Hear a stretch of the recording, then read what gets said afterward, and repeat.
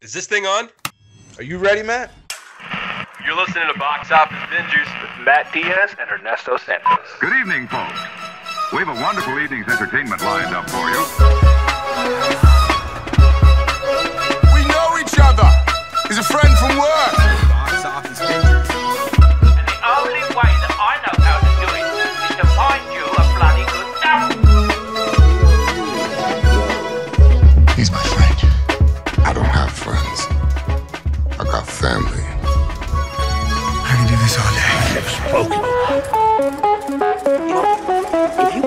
Mind to it, you can accomplish anything.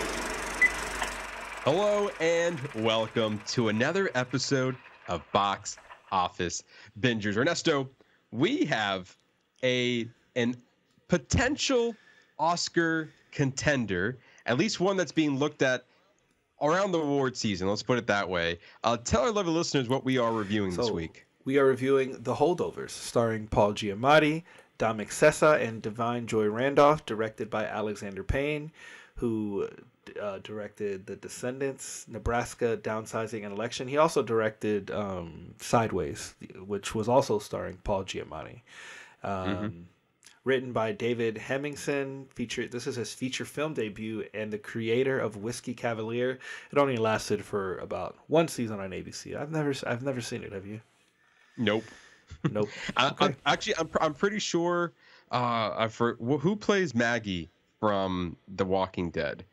I think this was Ah. the show that she left The Walking Dead for, and then it only lasted one season, and then she came back. Uh, Lauren, Ah, Lauren what is- Conan, Lo- Lauren Cohan is maybe I think her name is. Hold on, let me look it up. I think that's her name. Yeah, Lauren Cohan. You're Lauren- right. Yeah. Okay. Yeah.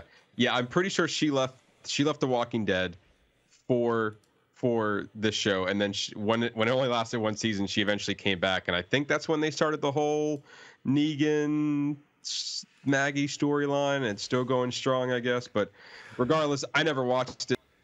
I never really. We never got that far in either one of those shows. So by all means. um, but I'm really looking forward to having this conversation with you, As especially with the holdovers, because we had talked about um, this being. Not, we- well, we said at the end of last week's episode that we were not looking forward to this movie uh, because Yeah. the trailer did not do it justice. Absolutely not.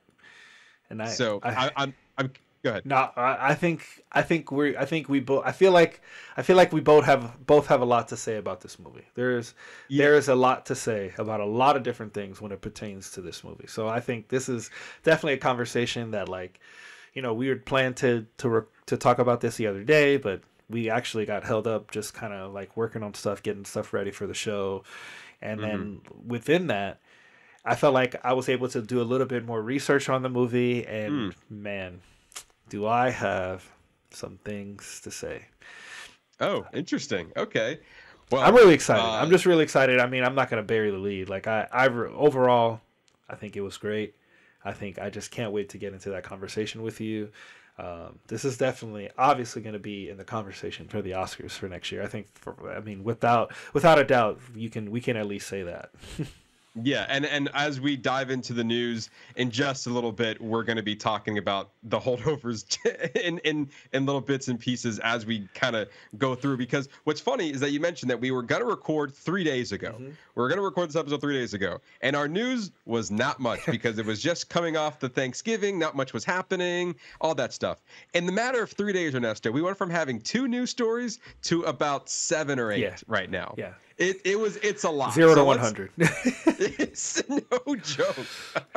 Uh, so let's dive right into it. We're going to be doing what you're watching a little bit later in the show. But for right now, it's official, everybody. The SAG AFTRA actors strike is officially over. After weeks of voting, the 2023 TV slash theatrical contracts have officially been ratified by the SAG AFTRA members by a vote of 78.33% to 21.67%, with a turnout of 38.15%, which, in my opinion, that turnout is very low. If we're going off of off of 100, that means about 38% of your members decided to vote on this.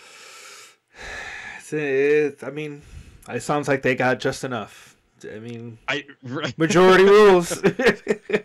yeah, I mean, I mean, off, but also between the 38% that did vote, it was an overwhelming yes. 78% of that decided that we're going to go okay, for this. seventy. Okay, but let's let's. So yeah, I, I know. we're talking about seventy-eight percent of the thirty-eight percent of the total body that they represent. Yes. That's what we're talking about. So we're not even talking That's what we're about talking about. thirty-eight percent. We're talking about whatever that I'm. I'm in. I'm in production. I don't do math. Yeah, we're, we're we're we're not talking about practice. Throwing out sports terms. Yeah. Uh, but yeah, I mean, I guess regardless, the strike is over. yeah. The pe- for, for the people who wanted to vote, they did that. They had about a week or so, maybe a little bit longer to do that because of the Thanksgiving holiday and everything. But we went over the details back on episode 194. So if you want to listen to what just some of what they were fighting for and what they got approved on and what some of the contract was, go back to listen to that episode. But for right now, it took from I don't know from either April or May all the way to right now all the strikes are officially over. Hollywood is in full swing back in production. They've already announced a few delays on a few projects that we've talked about before, but and then they've already changed some dates on a few th- things, but now everything is back on track. Yeah, but you know that's that's to be expected. We we we um we knew going forward that there was going to be a period where there wasn't going to be much content coming out. Yeah. And I and I feel like entering early January and February, I feel like we're going to start seeing that a little bit. Because even like looking at the theaters, there's not like big tentpole. It's not until like March or April or something. Um, but anyway, uh, congratulations for the SAG-AFTRA members. Uh, and the strike is officially over, and the same for the writers' strike. That's all gone. Writers Guild, everyone's back to work now. So, yeah, hopefully everyone got what they wanted. I mean, they probably didn't, but not everything. But they they got something to move the ball forward, and that's that's something better they didn't have before. Yeah. So, uh, so anyway, with that, uh, we're going to be talking about the 29th annual Critics' Choice Awards TV nominations have been announced. The film nominations will, for some reason, not be announced until December 13th. So at the at, at the time of this recording, uh, those nom- those film nominations have not been announced. Uh, but in the meantime, let's go over some of the highlights from the TV nominations. The morning show received the most nominations in the drama categories with six nominations, and The Bear and Abbott Elementary received the most nominations for the comedy category with four nominations. I do on, on, a, on a side note, I do find it kind of weird that they don't just announce TV and film at the same time, Yeah. like pretty much every other uh, award show. But I I guess maybe this this gives them they can stretch it out a little bit. I'm not sure if it's different committees between TV and movies, but regardless, as you can see in the screen for those who are watching on YouTube, those are your your top films. Oh, sorry, t- not films. Your top TV shows that are being nominated.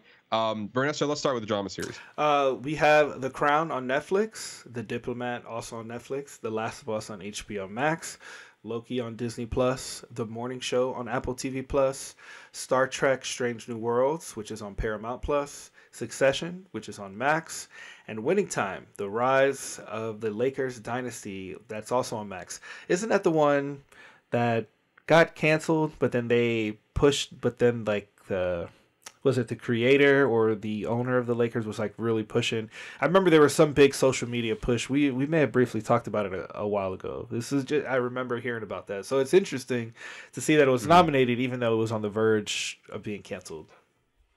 I, I think It, did, get canceled. That's right. It did. It did get right. canceled, yeah.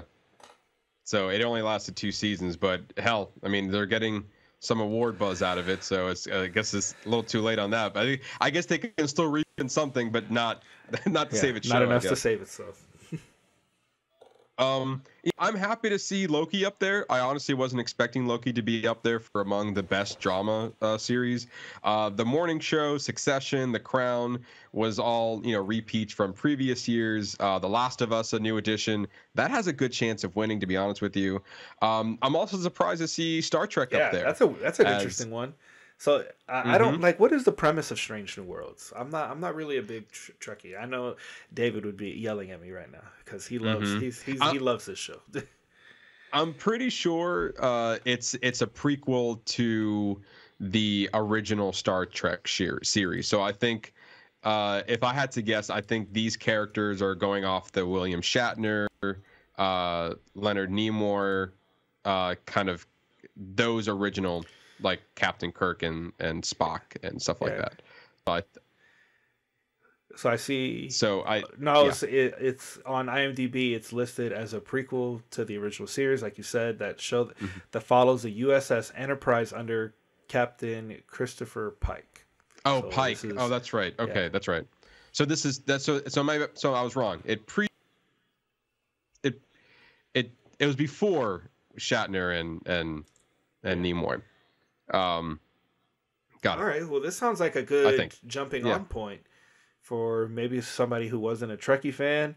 Like I don't know this, the fact that something so niche as Star Trek to be even listed in Mm-hmm. the Critics' Choice that says, "Hey, there might be just the same thing as we try to get people to Marvel." So there, there must be something there for even the casual viewer to to enjoy. So Yeah, I heard it was very similar to the style of what the J.J. Abrams Star Trek movies were. It was like it's very action heavy. There's like again drama within the the the Enterprise, and so I've seen that trailer and I was like, this looks really good. I've been waiting with Megan because she was also interested, so I haven't started it yet, but it looks it looks good. So uh, now that the fact that it's been nominated for the Critics' Choice, it just shows, like you were saying, more bones to it. It's like, oh, maybe there's something there for the average man and not something as niche as for the followers. And again, the same goes for Loki as well. yeah, and that and but like to me, like me seeing that, that's a sign for me to go, oh, like maybe I should.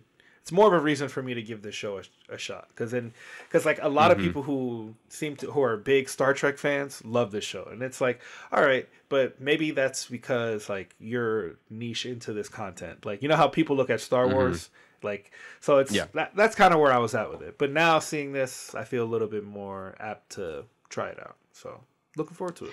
Yeah, and I, I am curious who's going to take the the the the winning who's going to win this particular best drama uh, because the Crown and Succession both ended their series, so they both have legs to win it. Even though I'm pretty sure they both won it before.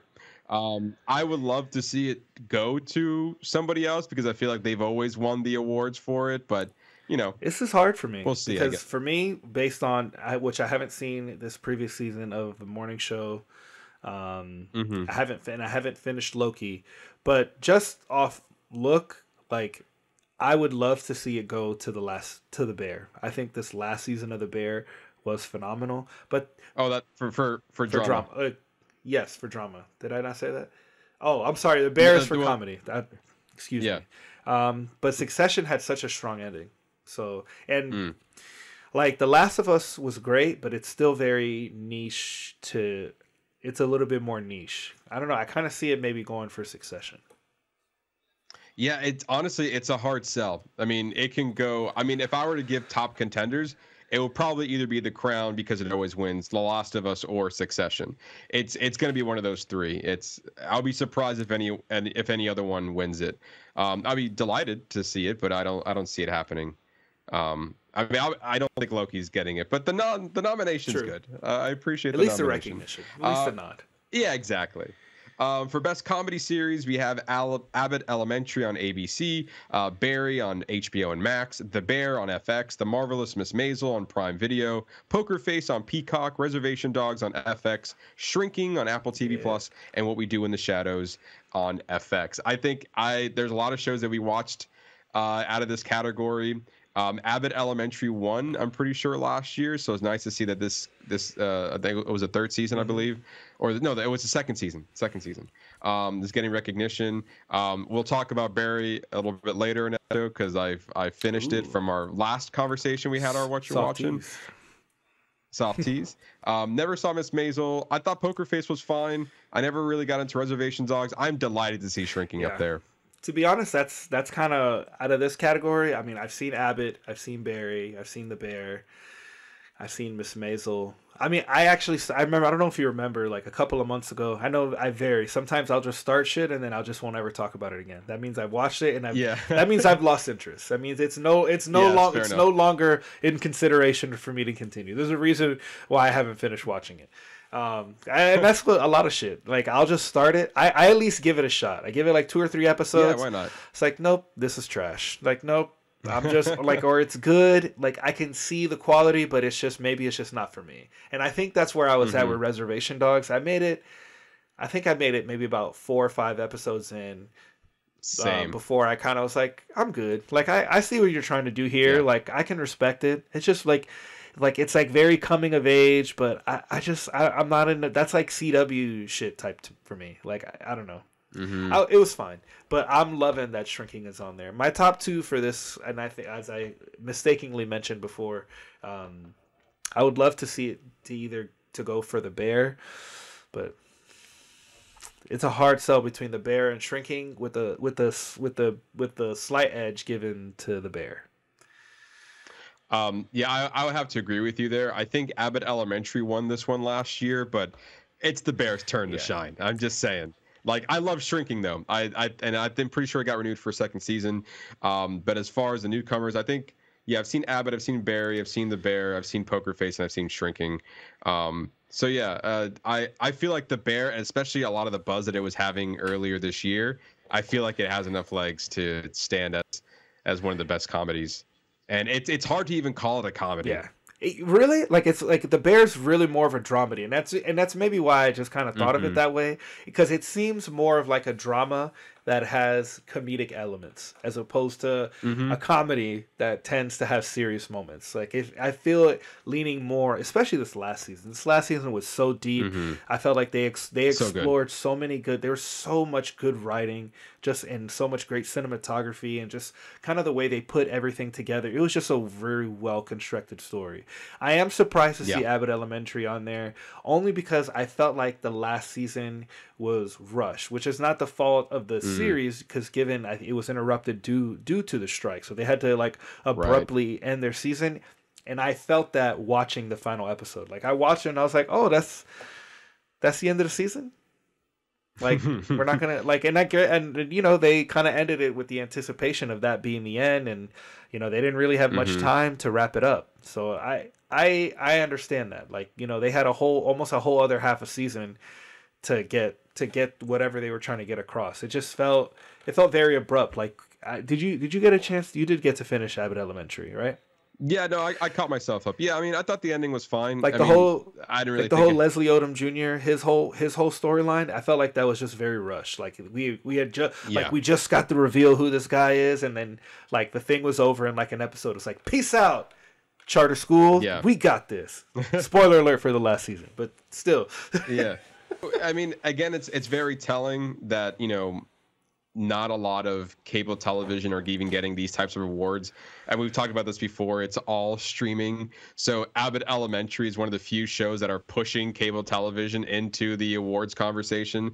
But fx has always been doing that for years. I feel like FX has been the exception for years that they've been creating great content that's not on streaming. You can find it on Hulu, um, and the same for Abbott Elementary on the next day, but they're originating they're originating out of ABC and FX. Um, so good for Abbott Elementary for kind of just like, hey, hi, I'm cable. I, there's some there's something good to watch over here. that you know that's a that is a really that is a really good point because Mm-hmm. you don't see when was the last time you saw a network TV show on here? Yeah, I mean, aside from last year, it was it was Abbott Elementary, and it was always a show on FX if it was a. That's what I'm uh, saying. Yeah, if it was on cable. So yeah, so there's that. And uh, the So last one. Yep. then we are gonna go to best limited series. So that's Beef on Netflix, Daisy Jones and Six on Prime Video, Fargo on FX, Fellow Travelers, Fellow Travelers on Showtime, Lessons in Chemistry on Apple TV Plus, Love and Death on Max, uh, A Murder at the End of the World FX, A Small Light National Geographic. Um, yeah, I've seen I've seen uh, like two or three of these. I've seen Beef and I've seen Love and Death. Uh, Love and Death was fantastic. What a what a fantastic uh, limited series, especially on something that was already on a topic that was already previously covered from a completely different angle on the story. So it it was great. I really enjoyed it. I think uh, Jesse Plemons. I mean, that guy doesn't miss. He's he's so he's so good in everything that he's in. Everything he he in he kills. He kills in every role he does. Um, so uh I don't I don't know. I don't have a I don't have a dog. in it. I liked Beef, but I didn't really care for it. the the ending. Didn't land for me. Yeah, I agree with that. And but I mean, Beef was the only show that I've seen from this limited series. So, um, I also I find it hard to say that Fargo is a limited series, uh, because it's they, they have multiple seasons every year, every few years. It's just it's an anthology series, so I guess it's being. I mean, sure, I guess. I Okay. don't know. Yeah, um, but yeah, Beef is the only one I've seen. I remember liking it for for what it was. I do agree with you. The ending was the only part of it that was a little bit choppy, but um, but yeah, I mean, aside from Love and Death and Fargo, like that was the only buzz out of those three shows. Beef, Fargo, and Love and Death were the only shows that were getting buzz. Yeah. Lessons in Chemistry just came out, so no one's really talking about it. You know, it's still So- airing. Aren't they still releasing still airing. episodes? Yeah, they're still releasing it. Yeah. uh, Um, yeah.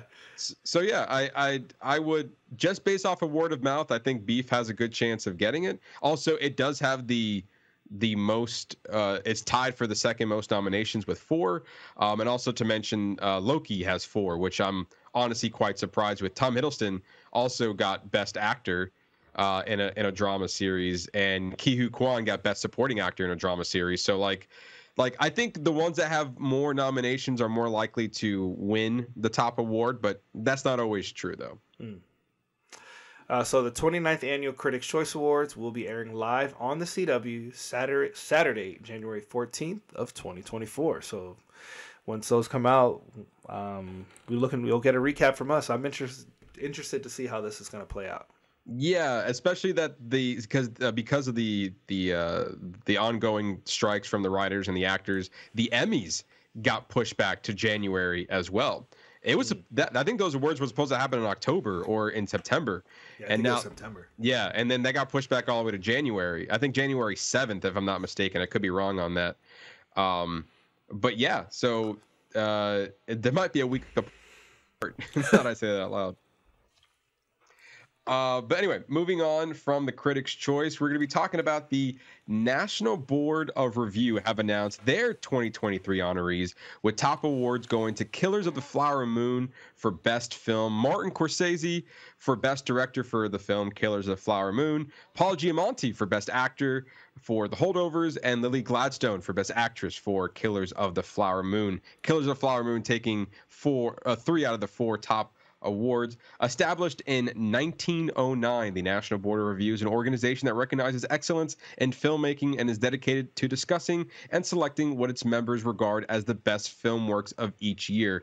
This year, 245 films were viewed by selection by a selection group of film enthusiasts, filmmakers, professionals, academics, and students, many of which were followed by in depth discussions with directors, actors, producers, and screenwriters. Among the top films are Barbie, The Boy and the Heron, Ferrari, The Holdovers, The Iron Claw, Maestro, Oppenheimer, Past Lives, and Poor Things. This is an interesting collection on the list. I mean, with Killers of the Flower Moon kind of sweeping it, Mhm. which okay, that I I get it. There's a lot. There's definitely a lot. There's a lot to appreciate there. With, I mean, giving it to Scorsese. I mean, we I mean we talked about it in that when we reviewed it about everything that involved that massive production. Yeah. I can obviously see it. I can see it for Paul Giamatti for the holdovers. I mean, Mhm. and if anything for Killers of the Flower Moon, Lily Gladstone should take it. She was absolutely fantastic. Her first time, her first film, and that's how great she was. I mean, just that's what an amazing job. Uh, I'm just so skeptical about Poor Things, and then I maybe it's just a point of entry. There's just something that is just Mhm. like I see the trailer and I go, God, this just does not look like it's for me. Like, like Mhm. nothing about this movie says that I want to watch this. But I, it seems to be like an eccentric story that's very meta.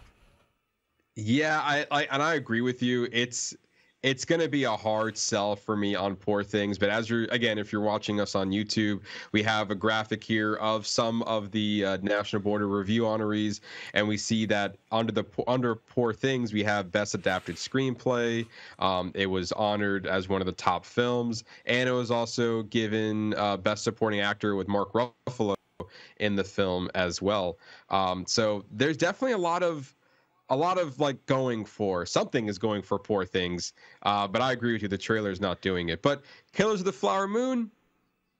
Yeah, again, we we've discussed this in a previous episode. Not our favorite film. Again, we talk about the whole meal. I don't. I think we can both agree that the Killers of the Flower Moon is not quite that. But I can agree with you that Lily Gladstone is for Best Actress is going to be hard to beat without knowing who the other uh, contenders are when it comes to other award shows. Absolutely, absolutely. Um, so moving on, we are going to move on to the AFI Awards. AFI Awards 2023 honorees have been announced. The American Film Institute honorees include 10 outstanding films and 10 outstanding TV programs deemed culturally and artistically representative of this year's most significant achievements in art of the moving image. Movies include of the year include American Fiction, Barbie, The Holdovers, Killers of the Flower Moon, Maestro, May December, Oppenheimer, Past Lives, Poor Things, and Spider-Man Across the Universe. I think this is a this is a great list. I mean, all of these there's a few, I think there's two, three of these full four that we haven't seen. Uh, Uh, one, two, three. Yep, you're yeah. right. Yep. American, that being American Fiction, uh, May December, uh, Poor Things, and Maestro. Did I say Maestro? I think I said Maestro the last time. It's Maestro. It's Maestro. It's okay. It's Maestro. Yeah, I'm, I'm trying. I'm trying to throw like some tang in there, and it's like it's Maestro. You're, you're trying to Maestro. Maestro. Like you're, you're you're trying too hard. Just read it how it is. Just read the words, Matthew. Maestro. Um, what's what's interesting? Uh, can you? Uh, I'm not sure if you can. Can you go back to the other slide? Uh, that a thing? Yeah, I can go back to the, If- the National Border Review. The National Border Review. Yeah. Sure, Matthew. Let's do it. I- kidding. um, I, I do find it interesting that some movies are not in the uh, American, uh, the American Film Institute honorees. Like we see some crossover, like with Barbie and Oppenheimer and the holdovers. But then there's like some that like The Boar and the Heron made the National Border Review, but not in the um on the the American Film Institute. But then we have May December, which is also being talked about highly. Uh, that made it to the American um, American Film Institute, but is nowhere to be seen in the National Border Review. I just find it interesting that there have been a lot of films that have been in the conversation and ones that we're trying to get to and trying to hone in on what be might be nominated for Best Picture. And there's some here, like for example, the Iron Claw. We were talking about this before we were started recording, how that one is is being looked at, but not potentially for Best Picture. But now it's saying otherwise, and then you look at the American Film Institute, and Iron Claw is nowhere to be seen.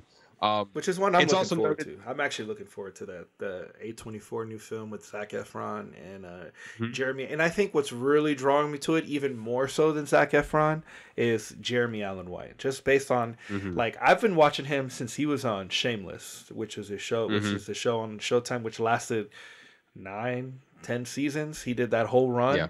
Um, and he's just he's just so good in everything he's in. He's just a fantastic actor. So I I'm here for I'm here for I'm here for whatever project he's about, and that's supposed to be a fantastic film. So, and it, I mean, Mhm. th- and that's like with any of these, like even whether it's Yeah. National Board or it's AFI, like you know everything is just subjective to the person. it is. But it's so interesting to see where the major crossover is, and we and you know yeah. and for the most part, we seem to hit them. Like you know, poor things is being talked about. Past lives is another one that. I mean, Mhm. we've we reviewed it almost. Was it in the summer? It couldn't have been. Was it summer or? No, I think it was a, just a few weeks ago. Not like that much longer, but um, let's see. When, Seems when like did we it was review a that long. one? It was a long time ago. No, not that long. I don't think. At least I don't think it was. uh, we reviewed it uh, episode 190, so end of October. Mm. Ah, that was a long So time not- ago. Oh, okay, fair enough. All right. We're, we're just ahead of the times, Yeah, Ernesto. we're we're, just- we're, we're, we're getting it done. Trying, dude. You know, and that's it seems to be our goal every year. Is just try to Mhm. not be caught up in all the and like when the Oscar nominations drop, I don't I just don't want to play that much catch up because we we we Yeah. already have to you already have to do your detective work when you want to I know. when we have we want to watch the shorts or find the documentaries you're like here you got to go to this link you got to knock three times you've got to open the link in exactly 35 seconds and make sure you watch it between this time and this time when the sun is setting just over the east side of the hill it's like it's like oh it's like you always find the most random way to watch it i think there was a weird short you know, you already know what I'm gonna say. There were there was a weird short that was not available in this country, and Matt did his investigative work, and he's like, "You're gonna go to this YouTube link. That's a video of this person watching the short. that is the way. That is the only way we can watch this before it airs in the Oscars." It was so weird. I fa- like I said, I found it on YouTube, and it was someone filming their phone. Yes. Was- I I believe I could be wrong, but I think they were watching it on a plane, and and I was like, what? And then I think it was also like in two parts. Yes. Uh, like it was like a 15 minute video in two Yes. parts, and it's like I think I think this is it. And then and then you know we we we we, we watched it that way, and I was like. And we've talked about this before, and I'm sure we'll talk about this again come Oscar season. But it's like, just make it available. Why, why are you trying this Like hard? seriously, you guys want to make money? Offer a package to people who are willing to pay, and say, "Hey, here's all the shit. Here's all the random shit that's gonna be up during the Oscars, and here you can Mm-hmm. you can come to our site and stream it here. You can pay per video. You can buy a package that has all of them in one, and like a lot of people would jump onto that.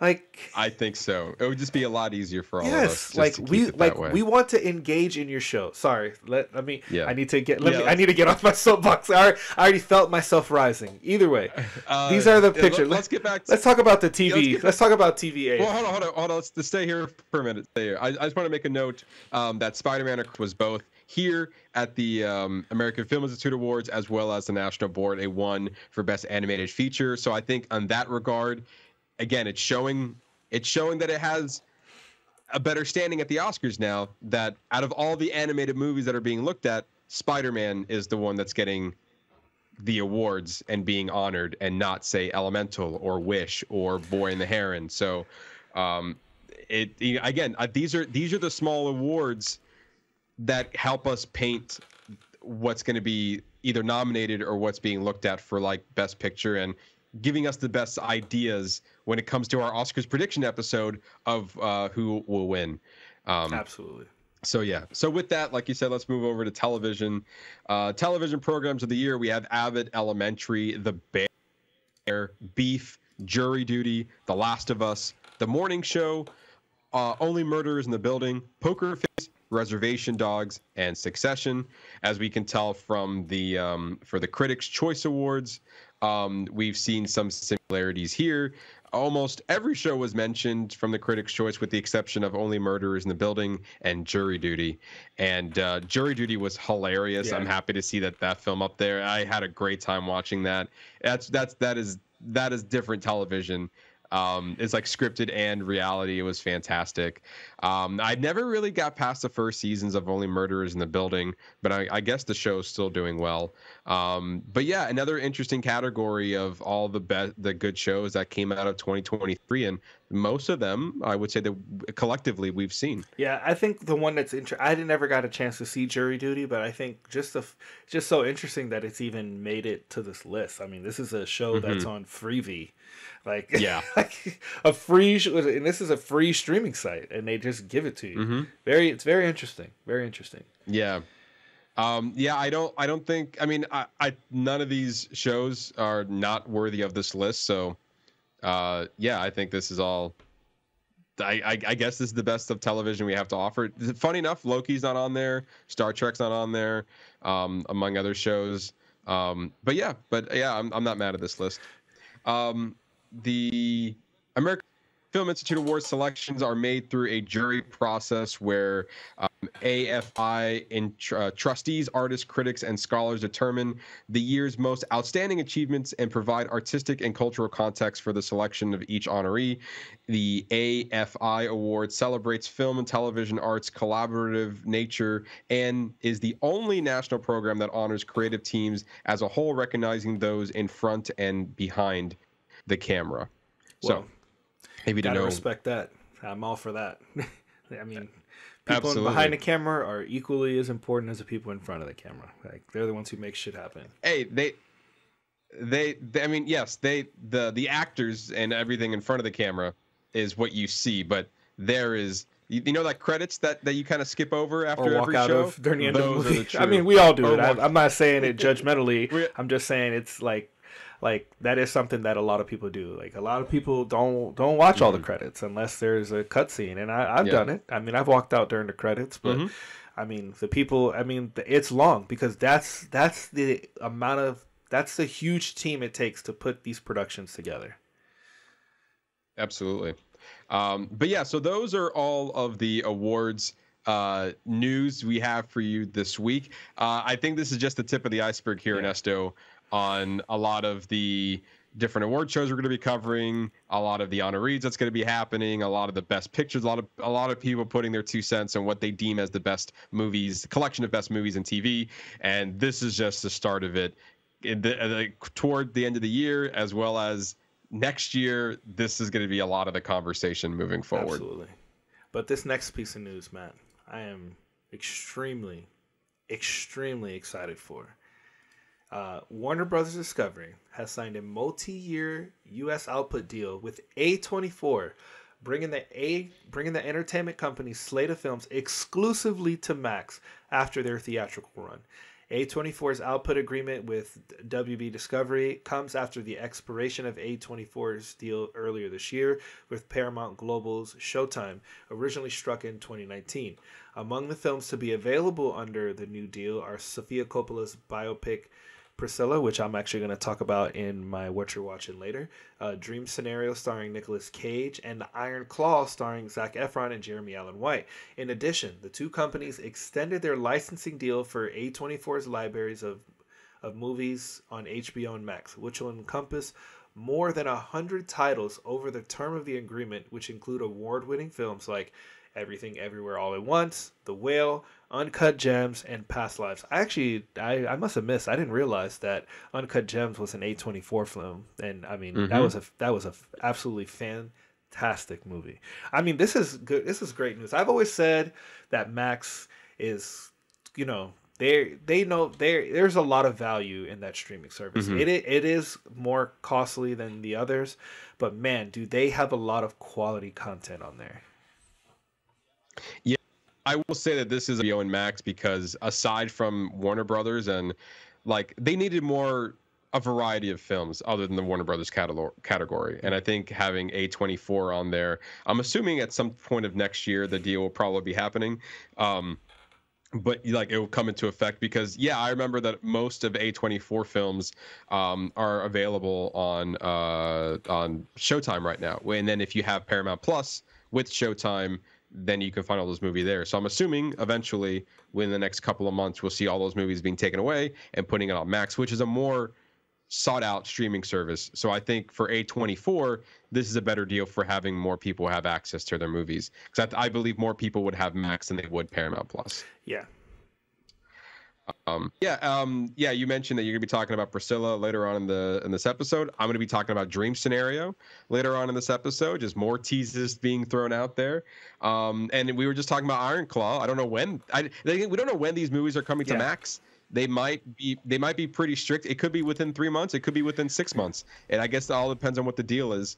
Um, in my opinion, I hope it's sooner rather than later because I don't mind seeing these new releases on Max sooner. But hey, I I respect the theatrical. I'm down release. for you know maybe 45. Actually, no, no. I you know yeah, it needs sure. to have its theatrical run. At least I'm gonna say it should at least be 90. We should at least go 90. Give it 90? three months. I'm- give yeah, it three in months the in it. Give it three Give it months three in the theater. Yeah, So we got to show love to the theater still. Perfect. Or, or you know, give it a month and a half in the theaters, and then when that's run, running low, then you put it out Oh, on the that's VOD true. market. You know, have people rent it and buy it, and then from there, within the three months, then we put it on Max. Look, we're not telling you how to do your job, Warner Brothers, but just saying that that's that's that's what Here's works for us. There you go. It's a nugget. uh, but I agree with you. A24 signing with Warner Brothers is a good deal. I think that this definitely helps with the Max streaming service um, because I do feel like that they don't have as they're not coming out with original movies on there as much as they used to. It's sticking with the HBO shows and a lot of documentaries, um, and then the reality shows that Discovery kind of come out with. But yeah, either way, A24. I think I think it's a good deal all around for everybody on that deal. I think they made a better deal there. Uh, moving on from that, Michael Waldron, the creator of Loki and writer of Doctor Strange and the Multiverse of Madness, has been hired to write Avengers: The Kang Dynasty. Waldron will now write both Avengers: The Kang Dynasty and Avengers: Secret Wars. Jeff Lovel- Loveness, writer of Ant-Man and the Wasp: Quantumania, was previously attached to write Avengers: The Kang Dynasty, but has been quietly let go from the project. Joanna Robinson, who wrote the book MCU: The Reign of Marvel Studios, uh, said on a podcast that Loveness was no longer working with Marvel due to him being quote wrapped up in his in their initial approach of Kang. Loveness has has written a draft of the script, but it's unclear how much of it will be being used. Um, just making a note on the book, the MCU: The Reign of Marvel Studios. I just got that um, on an audiobook form, so I'll be listening to that very soon. Very, I heard a lot of good things about it. Um, the the audiobook said it's 17 hours long, so I was like, oh my god, that's a very long book. Interesting. Uh, as far as uh, but yeah, go go look into it. I just got it from the library, so I have three weeks to listen to it. So I'm going to be diving it into it into uh, tomorrow, most likely. And if there- anything good comes out of it, yeah, I'll let you absolutely. know. I'm very, I'm Um, very, I'm interested to hear to hear about that. Uh, but at least pertaining to the news of Michael Waldron, I don't think that any of this comes as a surprise. No, and I think, I mean, I think that the big question is so. Obviously, it's probably not going to be called the Kang Dynasty anymore, and that that's clear. It's very Yeah. clear that there that whatever happened in Loki, and I haven't been able to finish it, but you've alluded to that they've closed the door on. They've softly closed the door on Kang for either for now Mm-hmm. or for forever. Like they like they've made it to a point where it's taken care of. Like it does not it, it should not Yes. come back. Um or, it doesn't Yeah. need to for an immediate yeah, future. like uh, a, ga- but gave it an ending so that, you know, it's not it's a loose end that's now been tied up. Yeah, and but easily door is like I would say close a jar. It can easily be reopened. It's like mm. it's like you close the door but you didn't lock it. Yeah. Let's, let's put it that way. So you can easily open it if you want to, but it's not going to be a struggle. Uh, but you don't need to open that door if you don't want to. Okay. Um, and I, I like what he's done with Loki. I think Loki is fantastic. I'm I'm all in on this second season. You know, granted, I have to wait for uh, my wife and my son for the three of us to come together because we're the ones who like to watch it. We have to wait for them to come together for us to watch. So it takes a while for us to get through certain projects, as I've as I've talked about on Mm-hmm. other episodes before, which is whatever. It's fine. There's a lot of other stuff to watch, and it's obviously not going anywhere. And uh, you know, and I'm not here for the week to week. I'd rather wait till it's all dropped and then be able to binge it. It just just makes it easier to fit into my life schedule. But this is this is fantastic news. This is obviously a part of the whole course correction that Marvel's. We've seen many different things come out over the past months, and uh, then this is just one of them. And I'm I'm kind of here for it. Uh, I'm glad to see that they're correcting shit, and like that they've taken they've taken our words as fans seriously. I mean, we've even talked about when we when when we reviewed Quantumania before that whole Variety article dropped that that something needed to change at Marvel that we needed to stop making excuses for them. And Yeah. I'm I'm here for it. I mean, I'm here for the course correction. Yeah, and and there's two things I like about this. One that I was really, really, really enjoyed uh, Loki season two, prime specifically its finale. So the fact that it ended so strong and it came from uh, from this person here, I think he he was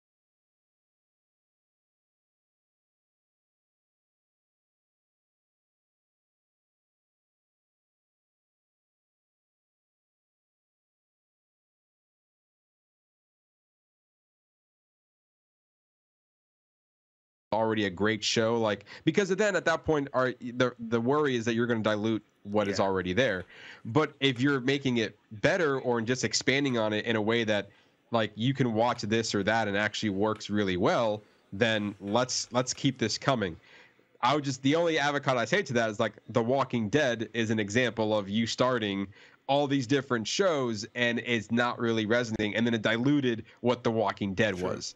So True. So now you're already like you can maybe balance one or two shows, but now you're potentially starting a third show outside of the animated series that you're already doing. So as first and foremost, as long as you can get the story down and it's compelling enough that warrants this and adds something to the universe, I'm here for it. But please do not dilute what's already great about this That franchise. is a fantastic point. And uh, yeah, I mean, I got nothing else. I got nothing else. I mean, that you pretty much hit the nail on the head. There you go. Um, but last but certainly not least, in the piece of news we have for you guys this week, um, I want to talk about a statement that Ryan Reynolds posted on social media regarding the recent photos that have been leaked online from the set of the upcoming Deadpool 3 film and asking fans not to spoil the movie by posting those links.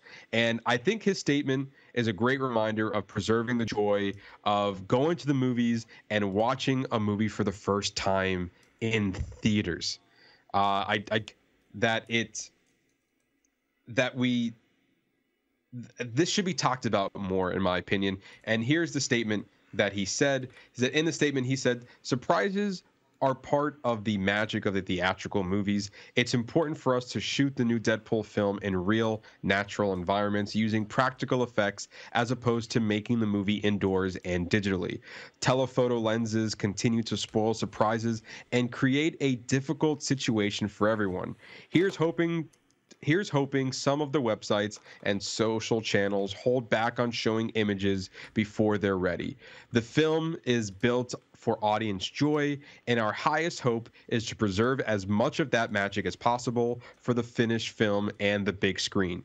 Part of the reason people post spoilers is because they're excited. I realize there these aren't real world issues and it's firmly in the quote good problems bucket. I love making this movie. Hmm. I think that's a that's a great message. I think it's Mm-hmm. so warranted, and it, yeah, you know, some of it is being excited, but I th- I just think we need to people who do that like let's talk about other things like. Like we Mm-hmm. can be excited for things, but we don't have to. Spo- he's right. Like, why are we spoiling things? This is the, it's the same Yeah. reason why the same reason why I don't like to watch trailers, especially for something that I know that I'm gonna watch, because then all the surprises are in the movie. I got it. I'm getting it exactly how the creators intended it, not for anything to be spoiled. I'm, I mean, I'm here for it. I'm all for going blind. I don't need to see set photos. I, you know, like I wish, I wish I never would have saw Yeah. The set photo with the 20th Century Fox thing in the background. What a great joke that would have been as a reveal when. Yeah. the when the film came out, right? Like, granted, yeah, it's cool. We got Absolutely. the now, and you know, we would have gotten the reveal of Wolverine in the yellow suit. Like, all of that would have been great to see on film. Like, we haven't even gotten a trailer yet, and we already have a lot of information of things that are happening. Yeah, and and you- and you're right. And and if they wanted to post that, I mean, I would give a pass for the um for like them like they announced that Deadpool sorry, that Hugh Jackman was going to be in the movie. Yeah. Like that that's that's a selling point. That that's the thing that makes you want to go watch, you know, the movie. So like I get that. Um but at the same time there's a lot and especially when it came down to like some of the bigger movies like spider-man no uh no way home and like a lot of the big action like especially pertaining to blockbusters like having leaked sect photos yeah you're right. It just it ruins the surprise of what it is. And especially like we especially when it comes down closer the last trailer that they announced it gives too much away. Yeah. and sometimes sometimes that's the fault of the studio. But other time remember that remember let's go sorry I'm, my head's all over the place because i'm remembering things. Uh, but the uh, shazam fury of the gods. Remember they they they dropped the trailer that wonder woman was going to be in Yes. the movie? Yes, exact same thing. and that that was under the studios you know that was on them but it doesn't stop anyone from seeing them on set and being like oh we think Gal Gadot is going to be in the movie because we saw her on set and they had the same sets before people for going back to Spider-Man No Way Home they were making jokes that they saw you on the set of of Spider-Man No Way Home, and Andrew Garfield was like, "Nope, wasn't there, wasn't me." It's like he he had to lie because he was told not to tell anybody. But as far as the like the news sites, like if if you know that they're not supposed to talk about it, then why ask? Mm. Like it like are are these news sites at fault? Like cuz not just fans posting, it's it's these sites that are posting it. True. Like, you know, like even comic book IGN, it's like they're doing their job, they're posting the news and what people are saying, but at the same time it's like you're also ruining it. That that Fox logo at the background is was going to excuse me, would have been hilarious. Yeah. Um and it, if we would have and it would have still been funny because maybe they would have dropped it in the trailer. But it's like, come on, like you're like we're we're missing the we're missing the point. Like even when IGN and all them they post they post like set photos or things that have leaked. You know, another one that really really bothers me is like actor rumors before that before it's been confirmed by Yeah. the studio or the actor or the director. It's like there's so many sites online that are like ooh james gunn started following this person. This person Yeah. may be the new wonder woman. Ooh. And i guess yes it may be fun to speculate but like you're looking real hard at this person's life to try to figure out i'm sorry not even their life. You're looking at their social media following to try to piece together who's going to be this person. Yeah, and and it's funny because there have been there were there were news there were reports like about a month ago or at least about three weeks ago that they had the cast of the Fantastic Four, and we chose not to talk about it because like that's not official. no I I only I mean we can talk about the rumors, sure, but I th- what they were saying was not official. They also they also claimed that they knew who was going to play Lex Luthor for uh, Oh, for the new Superman Legacy movie. I saw that. And and I was like, I didn't I didn't see this from James Gunn. yeah So I don't uh, until I see it, I can't say I, we can't talk about it officially because it's not uh, true yet. and just specifically when it comes to James Gunn, like Mm-hmm. he is he is a like one of the first ones to post about what's going on with his projects. So it's almost Right. like like let the creators do their job. Like their job is to relay the information in how they want it related. Like I don't Mm-hmm. I don't know. Like there's just so much other shit to talk about. There's just so much other things going on and so much other stuff Yeah. to watch that like we don't need to spend time on this on random speculation that has not been confirmed. Uh, I I do want to say because uh, we're on the topic of what Ryan Reynolds had to say right before we started recording. Ryan Reynolds had more to say about uh, Okay. these leaked photos. So I'm gonna I'm gonna show you my phone. I'm gonna put it onto the screen and try to describe it for people who are not listening. But uh, Ryan Reynolds decided to post his own leak photos. So uh, this right here is uh, apparently uh, the Predator is going to be in the new Deadpool movie. And it must be some kind of action scene because it looks like Wolverine and his um and his stunt double. and uh, stunt double. Yeah, we also have uh, looks like Mickey Mouse is uh, going into with money bags. bag full of money. And this is on and, Deadpool. and see this is from Ryan Reynolds. See, like this is this funny. is from Ryan Reynolds. this Reynolds. is funny. Yes. This is great. Uh, he also, I don't know what this is. I, I can't really. It's before I show you. It says Deadpool begin began with a leak, so I'm joining in. Please don't overuse the phrase Deadpool leak. Okay, he's just pointing out. Um, so this is another one. Uh, let me see. You got nope. Let's go back. yeah, right there. There we go. Uh, I really can't tell what this is. That looks like the 20th Century Fox logo. Like it looks like the Uh, it- writing of it. It does, but I can't tell what he's poking fun at here. Um, Or maybe it's a plumbing, a one- pipe, a plumbing pipe, maybe. Uh, maybe. Uh, here's another one that he posted as well. I think the the phrase that it's being written there was Wally lower the cue cards. That's what Yeah, the, the guy has a cue cards in the photo. It, I mean, but this is like him now. Ryan Reynolds getting to be Deadpool. Yes, this is him. This is Ryan Reynolds controlling the narrative. Absolutely. That's what he's doing. Here's the last one he posted. Uh, that is Steve Urkel dancing in the background That's great. um, on one of the sets as well. Uh, oh, wait, hold on. We got one more. Uh, gr- uh, looks like uh, oh, the, the the the purple nugget Grimace. from uh, Grimace from McDonald's is also in the movie as well. Who knew? Who knew? that all these who knew that all these characters are going to be in here. um, so yeah, this is Ryan Reynolds poking fun at it, um, and the I mean, this is just an example of like, look, he went to social media, and this is what I feel like more sh- people should be doing. He sincerely posted on social media, going away from his funny comedy sticks that he does all the time. Mm. He made this sincere post saying, "Hey guys, I know you're excited, but please stop posting photos. We really want to preserve the magic of when people see this movie for the first time and not having to see it in a in a you know an leaked photo that was on set." But then literally the next day goes, "But also now I'm poking fun at this because I'm Ryan Reynolds." he's like, let me. You want to see photos? Well, I'm gonna, I'm about to troll the shit out of you.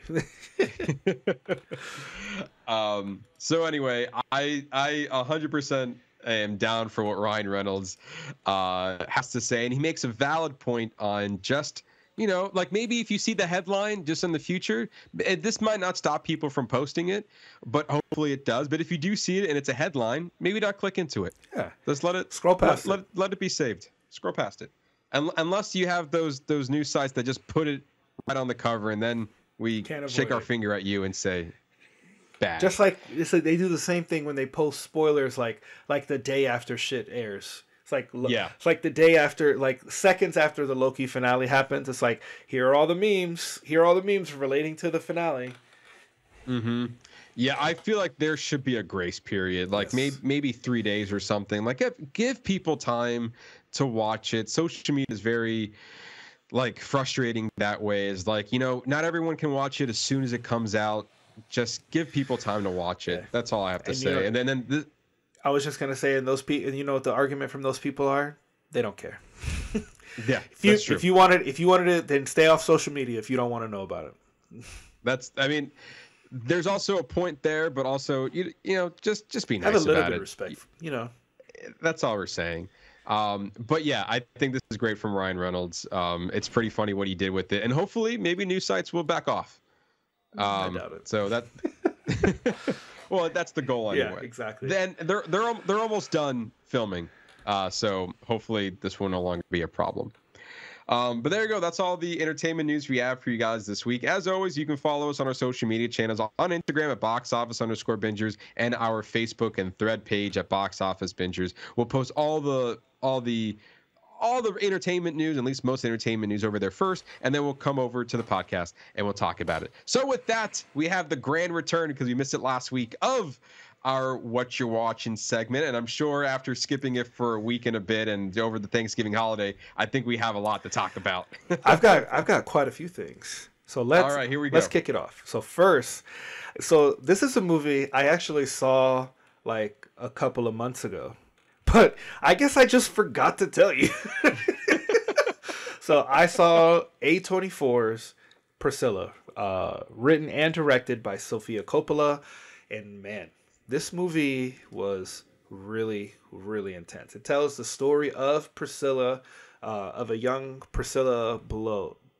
Boulot, I think is how you pronounce her name, and her how her she you know this is a very well documented thing of her relationship with Elvis. But what you you don't you know you think you're gonna see Elvis from the Elvis movie last year? No, you don't get to see that Elvis. You get to see the narcissistic Elvis that it does not it mm. does not paint him into a into a very great picture. Like it it gives you a very raw realization of what it was like to be her and how and what like what a what a lonely life she had to leave to lead while she was while she was with him. Um it's it was actually a really really good movie. And and Jacob Elordi who who act who gets to portray Elvis um he you can see him he was in uh, Euphoria. He was like the big he was like the big jock in Euphoria and he played his role very well. Um I actually thought it was a great film. It it was it's it's hard to watch. Like if you love Elvis it does not it does not paint a good picture of him. Um but it's obviously something I think that will possibly be in the award conversation for next year. Yeah, and it's interesting because not a lot of buzz has been around this movie. I think Sofia Coppola has made a name for herself, so that's already something there. Um, and this is coming just one year after the Elvis film that was nominated for Best Picture.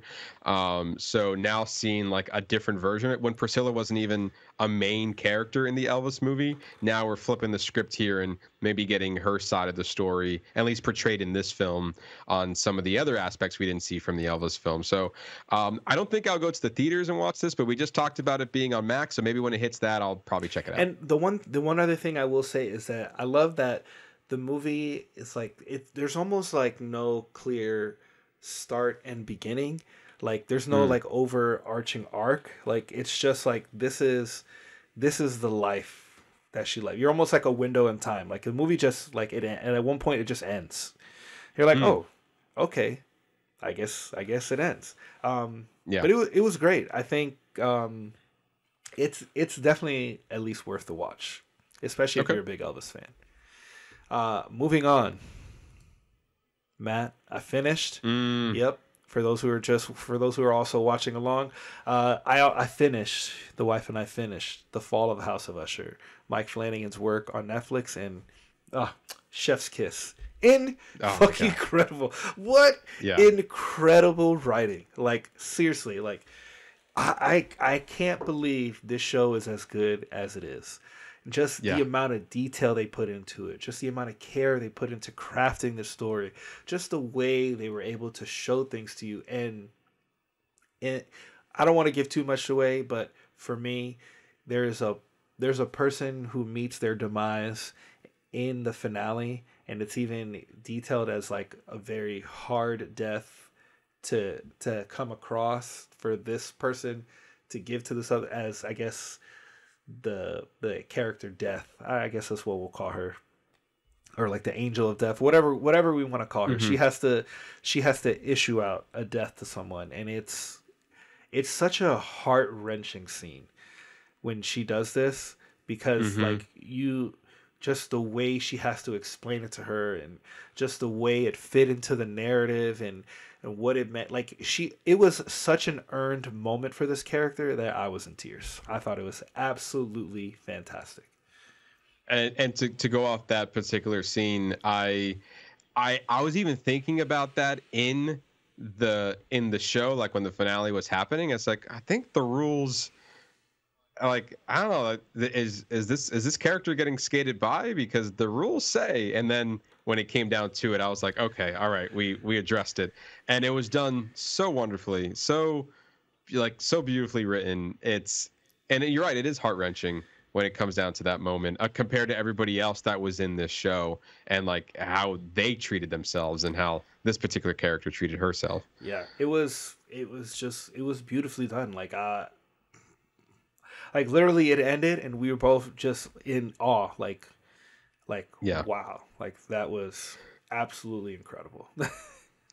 I, I know in a couple weeks we are probably going to be diving into the best of 2023 and I for me as an early you know early talking about this I feel like this is up there for me this show being one of the best shows I've seen this year Absolutely. and it's a sh- it's a shame that like we were just going over some of the best shows from the American Film Institute and the National Board and the Critics' Choice.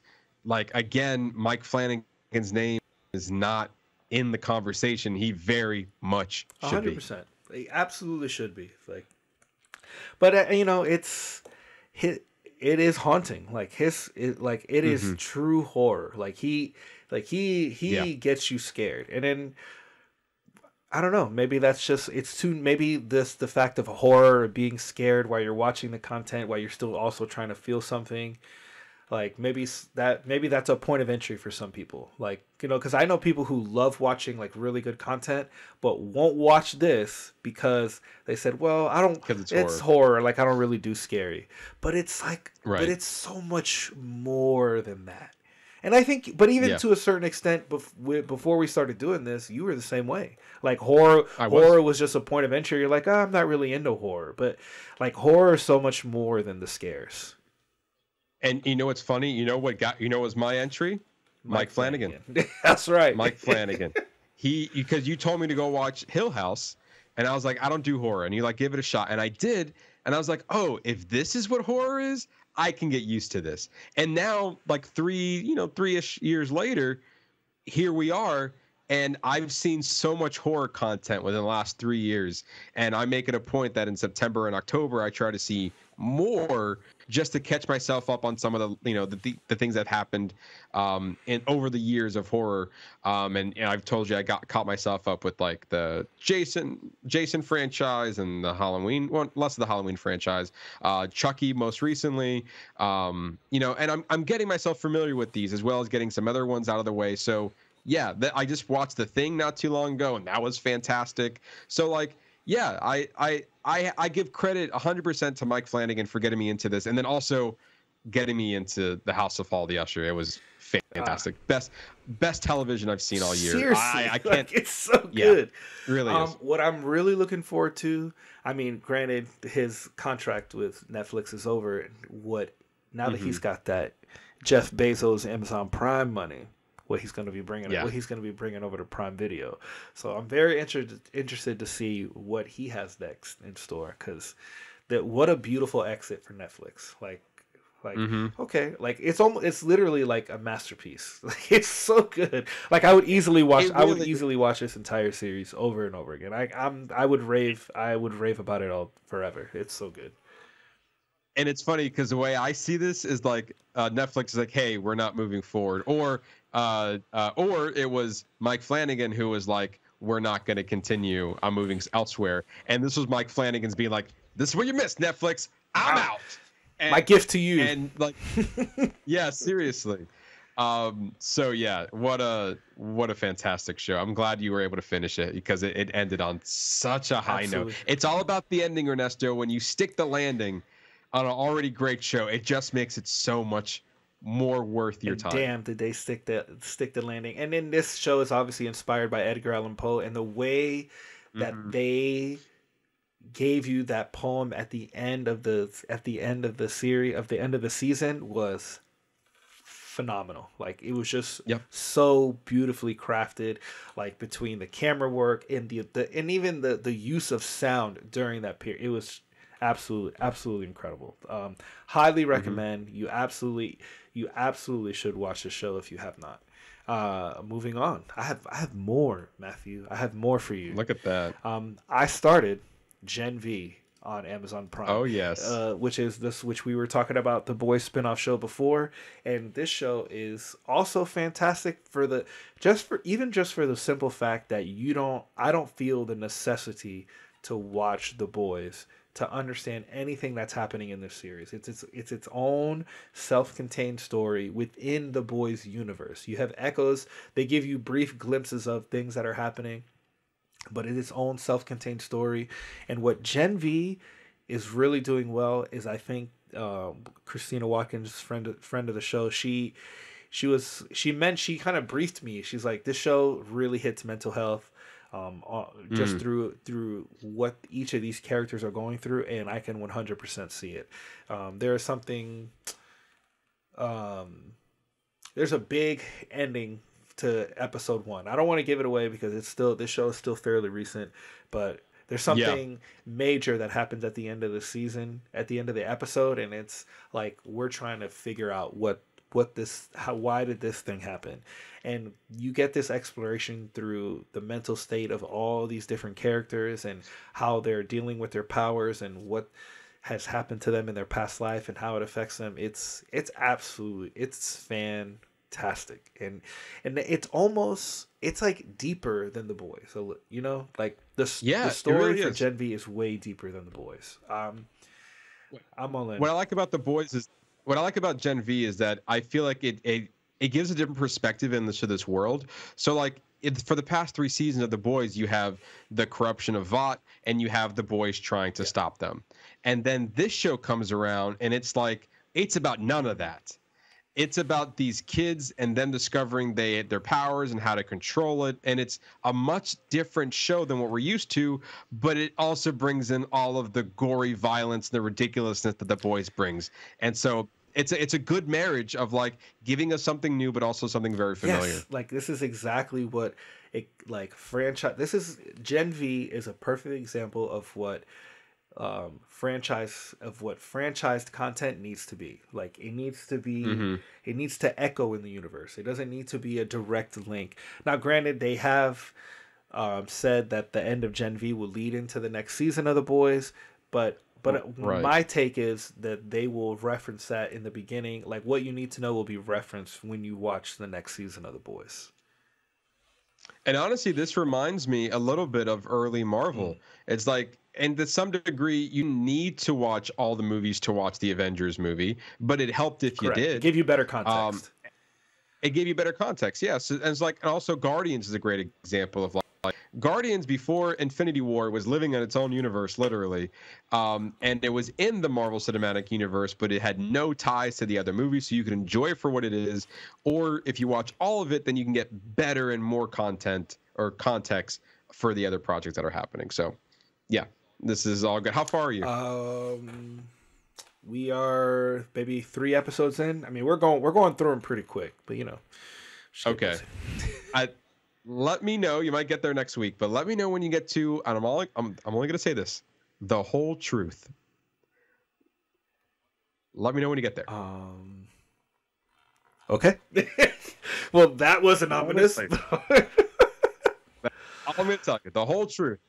It's for me when you get there, and I know you know when you'll get Mm. there. It was some of the funniest stuff I've seen okay. in this. Okay. All right. All right. I'm here for it. So Like, I mean, That's there's some great character work that happens in this season, so I'm, I'm, Absolutely. I'm fully all in for what's for what's coming next. Uh, I look finishing it because I want to have a deeper conversation on some things that happen later in the season. Matthew, you're teasing me now. Yeah, it's good. It's good. It's good. All right. Uh, fine. Uh, one, my final thing I'm watching is Tokyo Vice on Max. So, yeah, Oh, so, wow. uh, Matt Klesenek, friend of the show, who will be on Hmm. next week for The Boy and the Heron. Um, he was talking, and he's he highly recommend he highly recommended this show. It's American crime drama. Um, it's based on the book with the same name by Jake Adelstein, which is um, this this uh, Ansel Elgort, the main the main lead. Uh, him and Ken Yeah. Watanabe. Um, it's based off of his life. Uh, he was a reporter in Tokyo, and he gets Oh. mixed up with the um, with the yakuza, and it's all about their intertwinement and like just a crime drama unfolding from unfolding from there. And it's loosely i don't know what's true and what's not just looking online it says it's loosely based on his firsthand account. Hmm. The series follows a young american jour- journalist named jake adelstein as he descends into the underbelly of the 1990s tokyo where he worked as a reporter for a large newspaper in japan and he just like through him working through this newspaper he gets thrown into this he gets thrown into this world. And it's yeah i mean to be honest it's a fantastic it was it's a fantastic story. I'm about there's eight episodes. I'm about six in. I think i have about i think i have two left. And it's great. It's a great series. Okay. Um, yeah, it came out last year. I was curious if it got a second season, and it did. Um, uh, it's the second season will premiere in 2024. Um, yeah, I remember hearing some rumblings about it last year. So um, yeah, it's interesting to hear that it's good. you know it's just one see and this is one of those that i was like all right you know let me just roll the dice and let me just start watching Yeah. it and that and i've thoroughly enjoyed it so i'm almost done with that i should be done with that fairly soon I feel like it's also one of those shows that like with amongst of a plethora of other shows that come out throughout the year, this is one of the shows you missed. And because you- you're already into the new year and you're focusing on the next show, you forget about some of the other shows that came out in years past. So this is one of those shows you kind of go back and like, oh, you know what? This is actually pretty good. Yeah. Oh, look at that. Look at that. Pretty good. uh, and that's all I got. Okay. Um, so yeah, the first thing I want to talk about is uh, Spider-Man. Right before the holiday break, uh, right before the Thanksgiving holiday break, uh, I had the privilege of watching Spider-Man Into the Spider-Verse live in concert. That's incredible. Right here in Orlando, the Dr. Phillips Center. I will say this because I don't think Megan knew what she was in for. she thought that. She, so what this is is that they play the movie and all the music you hear in all the music you hear from the movie is being performed live. So you basically you're hearing a live score of it. Um, you're, you're hearing a live version through through the music from from the movie, and there and so Megan thought because a couple years ago we saw Pixar live right here, the Dr. Phillips, and it was just a collection of Pixar movies being per, like the music being performed live. So they played like a scene from Up, and you're hearing the score. They play a scene from like WALL-E and The Incredibles, and you hear the score from there. And then so the movie starting is like she goes, "Oh, that's interesting. They put on the logo, the the Sony logo," and then the movie's playing, and she, and then she turns over, she goes, "When does uh, are they?" Are they playing the whole movie? When are they going to go to the live action Spider-Mans? And I said, "No, Megan, this is their it's the whole movie." She goes, "Oh, we're listening to the whole movie." Okay. Oh, all right. Um, and and I will say this: I will say that the first half, because I had an intermission, uh, the first half was. I w- I don't want to use the word boring because it was cool, but you're being wrapped up into the story, mm. and the music is not supposed to be standing out when you watch a movie. So it's blending in. So, like, as much as you want to watch the movie, I pay to hear this music live. Yeah.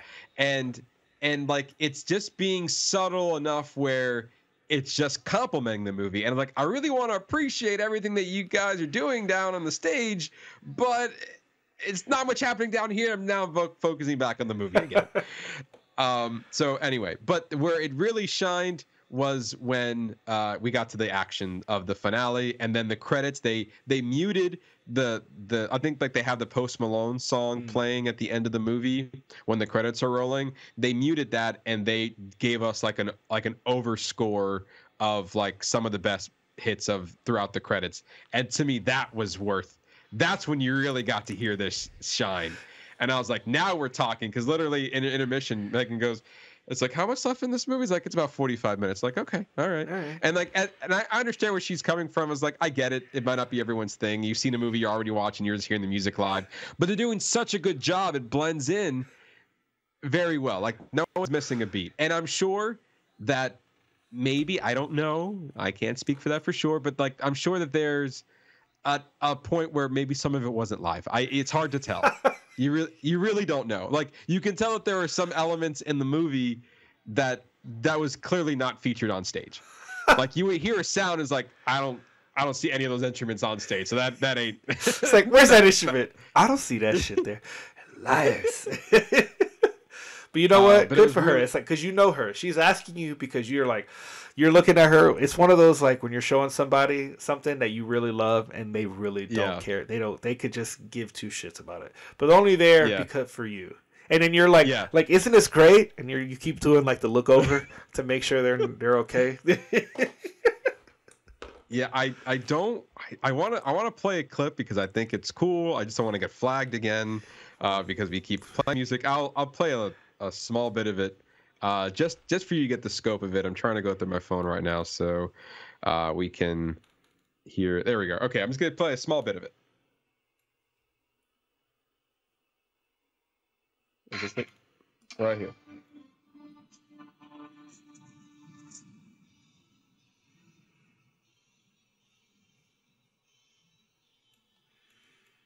And there's a live DJ there too, so he's actually doing that. oh, that's awesome. All right. And so yeah, that, that's so there. So there's that. It was just just a little taste of it. It was really cool, especially when the credits were rolling, that they were just able to be free with it. Um, this is a traveling orchestra, so they do this in other parts of the country as well.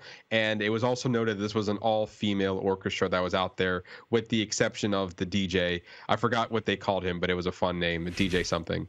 Um, and um, but yeah, I I thoroughly enjoyed myself watching the movie with the live music, especially because I love the score. And I was like, I think this would be really cool live. And what's uh, what's also cool uh, was that th- this was supposed to happen in August, and it was only supposed to be one showing of it, and it was sold out. And then we had a scare of the hurricane. There was a hurricane that was about to come in, and because of that, they canceled that showing because it was the hurricane was going to be over it. End up the hurricane not end up being that bad. So instead of like they they end up moving the date from August to November, and then they added a second show. So Megan and I were able to catch the second show uh, because most of the tickets that were in for the for the canceled first show went to the first night. So we caught on the second night. So I was happy to see that we were able to catch this and uh, the schedules worked out. And so yeah, that's it wasn't TV, but you know more or less it's the same thing. It's an experience when watching a movie. Um, I wish I was able to see more movies. I think the only other time I would want to do this is for Back to the Future. Oh, that would be awesome. oh yeah, and I've done this once before with Indiana Jones, and that was cool too. But I saw it at Jacksonville, and I'm gonna tell you what, Jacksonville's uh, theater is nothing compared to Orlando. So it was a, It was lot, a lot smaller. smaller. Okay, okay. This was in the main Dr. Phillips theater because I know they've got like the uh, like a smaller like a smaller theater. Yeah, this is the main one. Right. Yeah.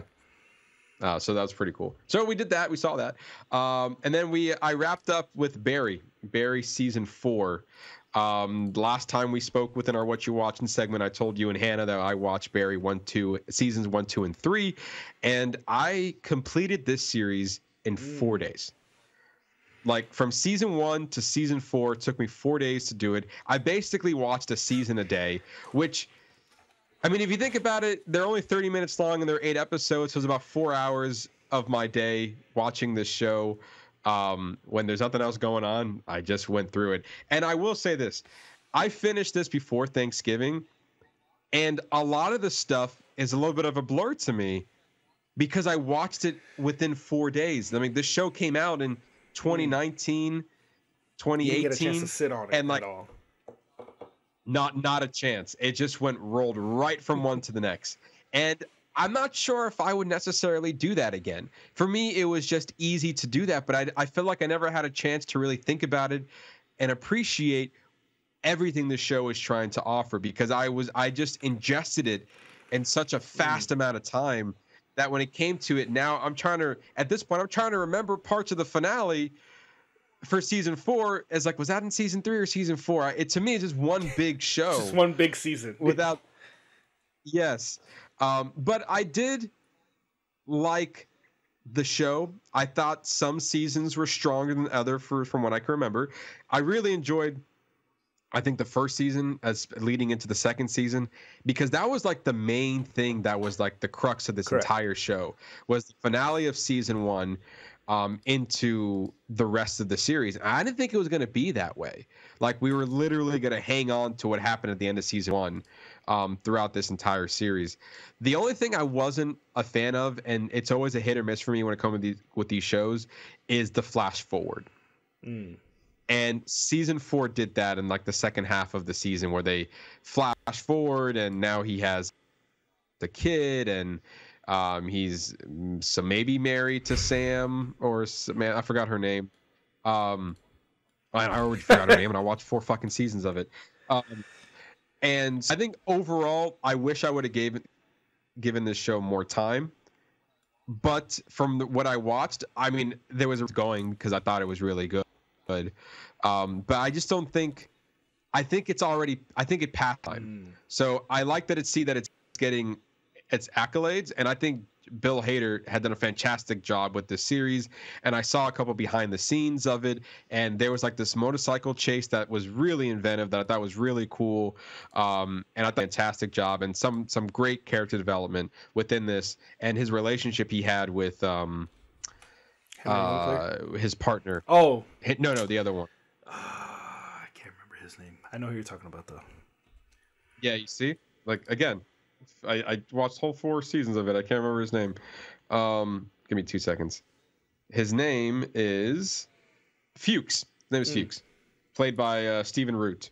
Um, yeah, his his character was also went through a whole bunch of changes as well, and you can see that through the prison. But yeah, my only thing is that I wasn't a fan of the flash forward. I think I, I never really am because, in a way, in my opinion, you we've been seeing something build up for so long, only to be undercut by like a few years later. And I was like, ugh, why? Like, you, you, I feel like we had a high, and then we had to like adjust to this new way that they're doing this. We have to get reacquainted to the multiple years later aspect of it. And like it took a whole episode just to get the bearings right of where everyone's been after the last few years. Um, when we were kind of running off the high of what this show was. But anyway, um, I I enjoyed it. Do you remember anything from at least commenting on what I just said about the finale? I mean, I liked. I really liked the way it ended. I thought, I what I thought the show did well is that it and it for me it really hit the head on like what is a legacy like Mm. what a lasting legacy is because uh, spoiler alert the show ends where his son uh, is he he's watching the That's film right. about his dad Yes. or he's watching the documentary about his dad and like what a way for you to leave a legacy to your son and like what your son feels like how he should be and like how Barry felt so alone going through what he went through in the military and how he felt the need to overcompensate. And that I thought that was really key how he played that in the last season where he was like over almost overcompensating for being like trying to be like like like the typical suburb dad Yeah. where it's like he's really like this stone cold killer. Like yeah, and you know, I, I completely forgot about the the literally the final moments of the finale with when they were showing the movie, and it was just a shitty version Yes. of what his life was, and we knew that it was like a B list movie. That was That's what it was portraying, um, with like little to no name actors being portrayal on it, and it said loosely based on a true story, and it was an awful movie. Um, but at the end of the day, though, Barry was seen as a hero. I think. That's right. And, they and- painted and they they pinned it on Paint- Cousineau. Yes. They pinned it on him because, again, spoiler alert, he was the one that killed Barry when he walked in. I was not see. I did not see that coming. Yes. Like, I was like, you- oh shit, he shot him. Oh, shut up! Yeah, and and the, and again, wonderful editing because you made it believe that you thought that he shot himself, like he was about to commit suicide with all the stuff that was happening, and instead you hear the gunshot, and then it then it goes to Barry, and then you see the blood coming from his head, um, and then you're like, oh, oh shit, he shot him, and then he went to jail for it, and this uh, like, Uh, like that's right, that that was like the big thing about like the- when when it wrapped up the whole season. Then we flash forward again, and then the kid sees the movie based off the life, and he's like, "Oh, my dad was a hero." When in all actuality, He was. he wasn't. See, and to me, that was to me the way they ended it. It really stuck the landing because if you go back to even the beginning of the series, uh, Barry's whole thing, why he even joined the acting classes, because he wanted to better. He wanted a better life. He wanted out of the life that he was in, and this is how he sought forward. But what what him going into that actually ended up being his undoing, and then he ended up like he wanted to be an actor, so he wanted to be known. So he already wanted to leave a legacy, but now he's just not leaving the legacy uh, that he wanted. And it's a movie, and ironically, it's a movie about him that he's not even in. Right. and He's not even in. How right. ironic is that? In the beginning, he goes to be an actor, and then he it, the show ends with a movie about him that he's not even in, but it's about him. Yeah. Um, but yeah, I, I thought it was a I thought it was a well made show. I, I think it I would I'm very interested to see what Bill Hader does next. He's so Um, be- good. He's another because one. I- he's so good. He's really good. And I and he was he's the, the the star and the creator and the writer of the show. He directed all of season four. Um, so bravo to him. I think that I really enjoyed Barry, but I think his best work is yet to come. I agree. I agree with that. Um, moving on from that, I'm not sure. It's hit this hit that I forgot which one we, we said. Oh yes, oh yeah, that one. Um, uh, Genie came out on Peacock, uh, starring Melissa McCarthy. It's a a new holiday movie uh, from the writer of Love Actually and Notting Hill. Um, and um, Melissa McCarthy is a genie. And yep, that was uh, and it's a Christmas movie. Um. Okay. Yeah. it's a thing that you watched. it's a thing that I watched and Megan enjoyed, and I was like, "Really, for real?" And then she's like, "But it's Melissa McCarthy in it." I was like, "No, I, I see her in the movie. I, I get that. I get no, I understand that. This was not a movie for me. Um, I think it was it was not good. It's just plain and simple. It was it was not good. Like I never got a warm Christmas feeling. It was Melissa McCarthy was the only one that was acting in this movie. Everyone else was very wooden and plain. Um, like Melissa McCarthy played a genie. Why? I don't know. The how she became into this world was also stupid.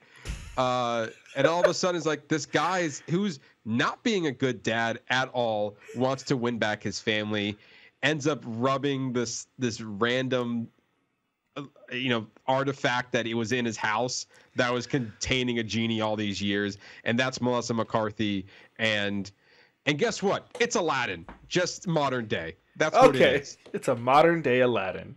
You're right, but different. And there's a family involved. And at the end of the day, it's like, I don't think his father, I don't think this person deserves to be back with his family. Not buying it. You're still still not doing the right things. So anyway, I fell asleep also watching this movie. and then Meg, Megan had to catch me up on some of the details. And she's like, no, we don't have to go back. It's fine. Um, You clearly but yeah, love your is- girlfriend. That's what that's what this Yeah. movie tells me. Uh, what's funny because I recommended it because I'm like, oh, I, I actually I didn't even see the trailer. I was like, oh, Melissa McCarthy, it's Christmas, it's on Peacock, it just came out, it's Thanksgiving, why the hell not? yeah. Um, and so yeah, it wasn't for me. This is one of the like the three new offerings that they have for Christmas movies. I know that they're I know the other streaming services they have like your your Hallmark movies and like your your like your B-list Christmas movies, but as far as like the main ones with notable actors, it's it's this one. There's also Dashing Through the Snow with Ludacris and Lil Rel Howery. Uh, That's on Disney Plus. And there's also, I think, which is the biggest one that's coming out this year, is Candy Cane Lane with Eddie Murphy. Um, I probably will be catching that one before the end of the year uh, while we're in this season because I've I've heard decent things about that one. So we'll see. But this one, this ain't it. This this this one will not be in my rotation of holiday movies I go back to.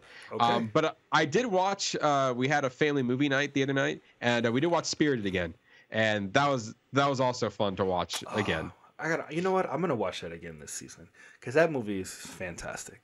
It was so good. Oh, I- you know I- what? Just side note, we were talking about watching a movie tonight as a family. I think we're gonna watch. I think that's. Like I think, I think it's gonna be Spirited. I think you just. I think you just invited the spirit into. I don't know where I was going with that. But no, I think. I like I it. I think. like I think this is. I think that's what we're gonna watch. It's a musical. I mean, I Yep. still. I still jam to that. Um, that Will Ferrell song. Oh, um, uh, is it the Ripples or "Wanna Make a Waves" or was it the um, uh, oh man, I I can hear the melody. I just can't think of the words. It's uh, It's like- it's like his his big. It's like a redemption song. It's hit. oh. Yes, yes. It's his. Uh, wow. It's it's it's it's almost there. Uh, it's uh, uh like I can't. Uh, it's, uh, we're not trying to. Uh, three, three for five hundred. Uh, un- unredeemable. uh, uh, uh, what is unredeemable from Spirited? I mean, hold on. Let me give you. Let me Oh, give you a little uh, taste. Un, yeah, un, yes, unredeemable. Am I unredeemable. Unredeemable. Yes. Uh, All right. I don't want them to take us down, but that move, that song slaps. yes, it does. And also, like, Good Afternoon was also a great one that was in the beginning, like toward the middle. Good afternoon. Yeah, we reviewed that. Was that last year? We had Hadas. We had Hadas on last year. That we had a good time Yeah. talk. We had a good time talking about that. It what a Yeah, and freaking also, like- fantastic movie. And then, uh, as, was it waking up in that Christmas morning feeling? Yes, him and and it's him and Ryan Reynolds. What a, it was a great movie. It was it was great. It was yeah. I I was very pleasant to see that a year later it's still giving us the Christmas feels. Fantastic. A, a twist on the um, Scrooge storyline. Mm-hmm. Um, yeah, it was it was great. And Genie, uh, was Genie was not. it's funny because Sorry? Genie was not.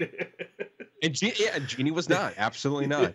Uh, there. It's funny because I asked my sister if she had watched it because we were trying to figure out a Christmas movie to watch, and she goes, "No." And I said, "Oh, it's Will Ferrell and, Ryan Reynolds." She goes, "Oh, okay, it's on Apple TV Plus." She's like, "Oh, that's probably why I didn't watch it." And I was like, "It's from the writers of The Greatest Showman," and I go, "Oh, okay." Should have led with that. Uh, yeah, it's funny because one of one of my sister's favorite movies is The Greatest Showman, and I said it's the same songwriters. It's a musical. She's like, okay, you have my attention. I'm like, all right, press and play. let's, do this. Um, so yeah. So anyway, Genie ain't it. Uh, moving on from that, however, I just went to the theaters this morning and I saw Dream Scenario, uh, the Nick, the new Nicolas Cage movie from A24, and I will have to say that I was disappointed with this movie. wow. Yeah. I didn't say that I had much expectations going in because I didn't really look at the trailer. I saw that it had a 90% of Rotten Tomatoes. It was from A24. It starred Nicolas Cage, and I was hearing some great word of mouth from it. Mm. And so I was like, I think that's all I really need to know. I saw a little bit of the trailer like toward the beginning and I was like, ooh, this could be interesting. And I kind of left it at that. And then I went to the theater and I saw it and I think it was more along the lines of little expectations I thought this movie was going to be. It was most definitely was not. um, and at the end of the day, it just didn't resonate with me. Like I, I, I, it's weird because I don't want to spoil anything for anybody, but there is a clear line of what the what the what they were going for. Um, I just don't think it landed the way that it wanted to be. Mm. Like it's it was meant to be a comedy, and I didn't really find anything funny about this. I'm not to say that it wasn't trying to be funny, but I don't like there was there was no jokes that they were setting up for or anything. I took this more of a as a mystery, but at the end of the day, it was pretty much straightforward. Like I was expecting a twist, and there wasn't. Mm. And so I had to take everything as face value, and I didn't like that. Um, I was I was waiting for a reason, and it was like, nope, And then the reason never came. Reason never came. It was just it just happened. It just like this is it. And this is what this movie's about. And it, it took me more than halfway to realize like there's no twist, is there? this this is this is it. Um, the movie was only an hour and a half, and I I felt like it was 30 minutes too long. it's it's just it I I don't know. I just felt like a, a lot of it had something going for it, and it had an interesting premise, but didn't. It went in a direction I wasn't expecting, Mm. and maybe that works for some people, but it didn't work for me. So, there was that. Um, I'm not sure if you were planning on seeing this one or not. Uh, I had a mild interest, and now I have no interest. Uh, well, we again we just talked about it. It's going to be on Max. So if you if anyone's ever interested, I, w- I would I would have rather waited for a Max release on this than go into the theater to watch it. Uh, but the last thing I want to talk about, which is more important than this movie, is David Holmes, The Boy Who Lived, the documentary on Max. It is or on HBO and Max. Um, it's about David Holmes, who was a stunt double for uh, Daniel Radcliffe in all the Harry Potter movies, who got into an unfortunate accident on set while filming the Harry Potter and the Deathly Hallows, and it's about his journey through like his life up until the accident and his his process that happened after the accident and kind of his new life kind of being paralyzed uh, for the rest of his life. And it is as much as heartbreaking as it is delightful. Mm. like the movie and the documentary is so positive. And you're and you're just like this man just lost his entire life and he has the best attitude about it. I don't know how but he does. And like even like when things look like it's worse especially when it comes down to some of the, the most more recent years because i think it comes down to like like this year as you know like that's how far the documentary goes of like things that are happening this year. And um like it's it's i was glued to it the entire time. Like for those who even want to see behind the scenes on some of the harry potter stuff they showed that as well but this movie is not about harry potter. It's about it's it's 100% about david holmes. Um and Daniel Radcliffe is in it, and he does do interviews. And um, I think he's the one. It says executive producer, but I feel like he was also kind of leading the charge on this documentary as well, um, because David Holmes wanted. He now felt comfortable telling the story of his life and kind of, kind of just being like an awareness out there. And like he he feels no guilt. He's like, if I was able to walk again, I would go back and do what I was doing before. I would go back on set and start being a stunt double. It's like he he is like the best of humanity, and it was just such a good documentary, like one of the best docu, hands down.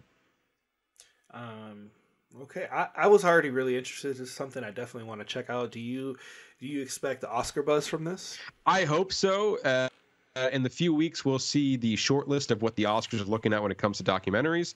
Um, I I hope it's up there because you know you know the Oscars, are Ernesto. They love uh, you know movies talking about movies and documentaries about movies, Yep. and so and this is up there. This is about a stunt double who got injured on the job and kind of going through that process that he was going through, as well as you know bringing awareness to the safeties of when you're on set. And I if that that's right up the Oscars alley when it comes to that stuff. Um, so I hope it's at least being on the short list. I don't know if will be there at the end of the day when it comes to the nominations. I don't know if he even qualifies, to be honest with you, but I hope it's there because I really enjoyed it. As as a Harry Potter fan, as a person who loved watching movies, and just I have so much more respect for the craft uh, after watching this documentary and like the amount of work you need to do to make sure that these actors are safe. And it was David Holmes who was helping Danny Radcliffe even do his own stunts. Like he was even saying that some people were like some stunt doubles were like, "No, let me do it. This is my job. I don't want you to like take away my job." But David Holmes was like, "You want to do this? Sure, I'll teach you how to do this." Yeah. And so there were some scenes, especially in uh, I think the Goblet of Fire, where um, Danny Radcliffe was doing some of his own stunts uh, with the help from David Holmes, and he's been his stunt double since Sorcerer's Stone, since the first movie. So they grew up together as much as anybody else did. Wow, that's incredible. Mm-hmm. I Yeah, can't- it's- I can't wait to check it out. I'm, I'm It's looking really- forward to it. It's really eye opening. I 100% recommend it, especially if you're a Harry Potter fan or involved in the movies or anything like that. It's well worth your time. Um, so, anyway, that's all I've been watching. So, with that, we're going to be diving into our spoiler reviews, reviews, or our spoiler review of The Holdovers, a movie that's already being looked at highly as as being as we already talked about, being looked at as many honorees for some of the best movies of the year, and it's a high contender for what the Oscars might be in store. Um, our supporting actress, um, what was her name? Divine, Joy Divine. Ran- Da'Vine Joy Randolph- Randolph. Yeah, she's already won a an award. I think it was a Spirit Award. No, it was a New York's Critics Award for Best Supporting Actress, and it's already been looked at for other um, nominations as well. We just saw Paul Giamatti win for for the National Board of Review for Best Actor. So, with all that, Ernesto, your thoughts on the holdovers? Um, surprisingly, I loved this movie. Like I, I went into it not really expecting anything at all. I, I mean, you remember we talked about it. Like I almost, I almost like kind of wrote it off. Like I didn't really want to Yeah. see it. Like I was like, eh, it doesn't really look like something I'm really gonna enjoy. And I was, I was pleasantly surprised. Like, and I saw this on a Tuesday afternoon, and the theater was like mostly packed. Uh, granted, it was it was an older crowd. It's a Oh, much older crowd in a theater, but they were all there nonetheless. And the movie was fantastic. I mean, Paul Giamatti is was absolutely a standout. Da'Vine Joy Randolph. I mean, she was. i mean, all three of these characters really, really carried this film. And Dominic Sessa, like first time actor, mm-hmm. fantastic. Especially when you're when you're working with the great Paul Giamatti. Like, it, Yeah. it was fantastic. I think it was. he a- went toe to toe with Paul Giamatti. Seriously, yeah, like Yeah. ser- like they really, really matched each other, and I actually loved the way that they played off of each other. Like their like their chemistry on on set is absolutely fantastic. It, it like the way they were able to play off of each other really elevated what this movie. I think really elevated what the movie was giving us. Um, what's what I also really like about what I really enjoy is that not only is it just a, a great character drama, it's also a fantastic uh, Christmas movie. Like this is one hundred percent. Absolutely. And I was reading an article. I think it was Hollywood Reporter was talking to the director, and it like he want that's exactly what he wanted. He wanted his he wanted this movie to seem like like somebody pulled it out of the vault, like it actually was made in the seventies, and like somebody just pulled it out of the vault. And I want and you get the you see that with the opening credits and just obviously the look and feel of the film. Like I think they were able to achieve that one hundred percent. Um, you get Paul Giamatti, who's like this Scrooge-like character. He meets, and and this is this is like this is my one small gripe. It's maybe like fifteen minutes too long, and I think we spent way too much time on all these other kids. I would have I would have I would have much have rather them been a, a brief mention. And for their exit, like when they left, like that should I felt like maybe that should have happened a lot sooner and given us more time to build with Paul Giamatti and Dominic Sessa's character. Like build the build these two characters together, and even um, the cook, her her character, getting them all together. If he had given us more of that, I feel like we would this movie would have hit just a lot harder. I mean, the movie does a fantastic job humanizing the three of them through all three of their stories. Paul Giamatti 100%.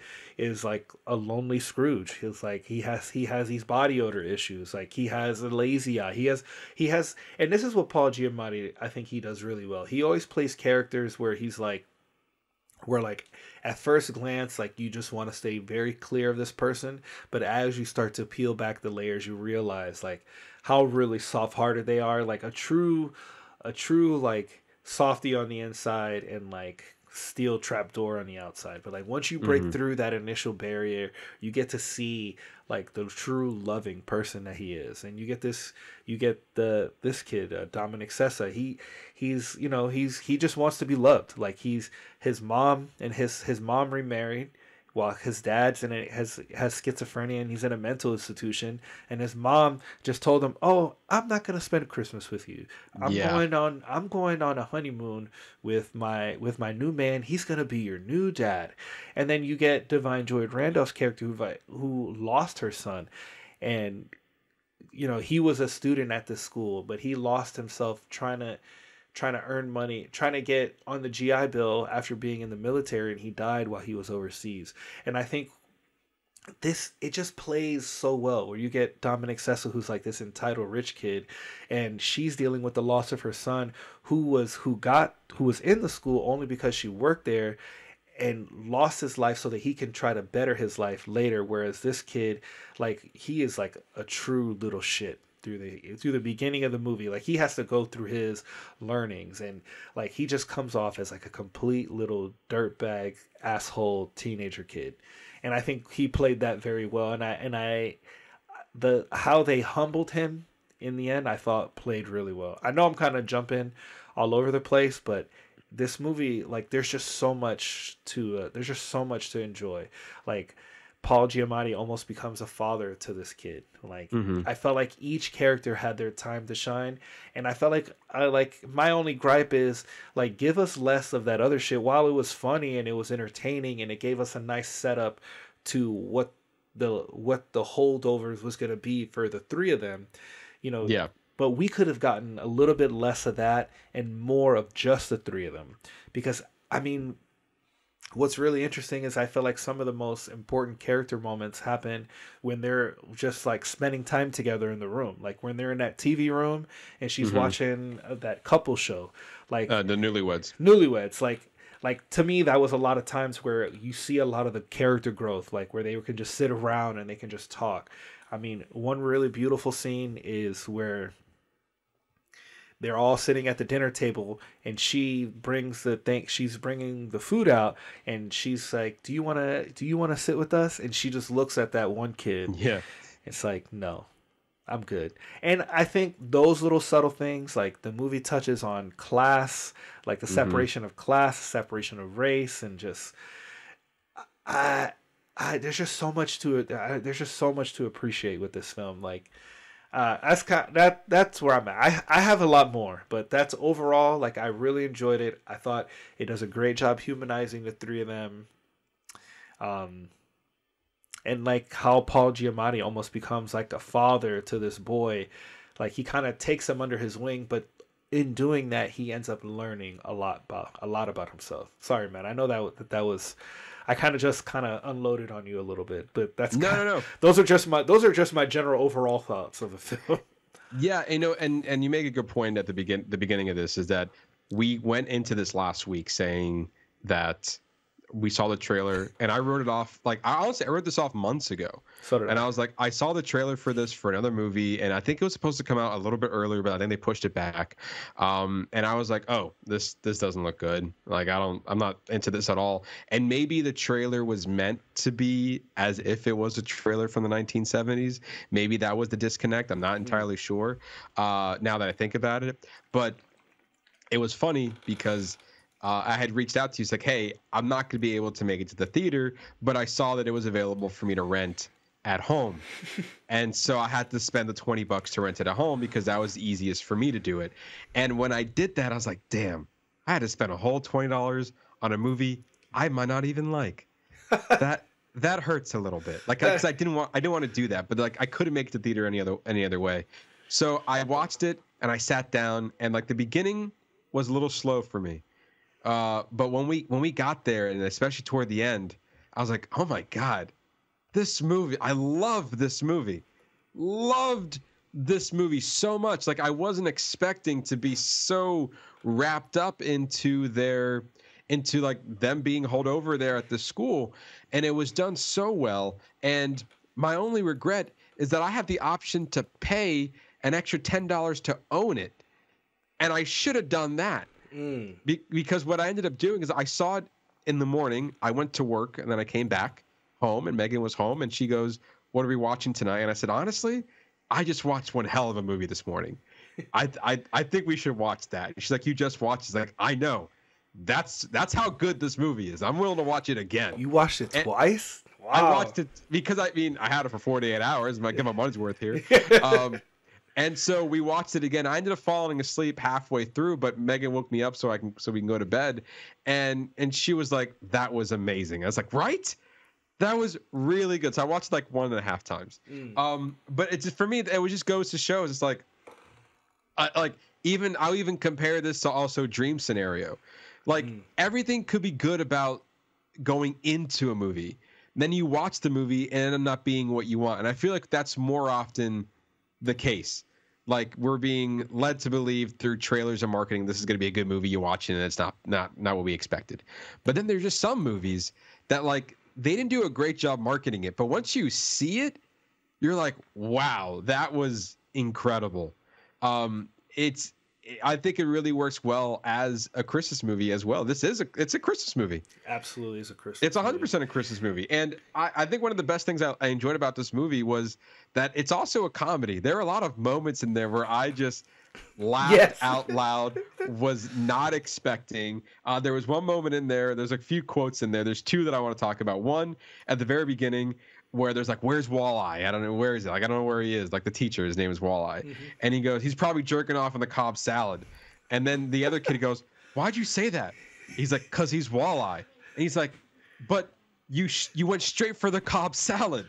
I mean, do you know something? Because I eat that Cobb salad, and to me, there was such a genuine concern.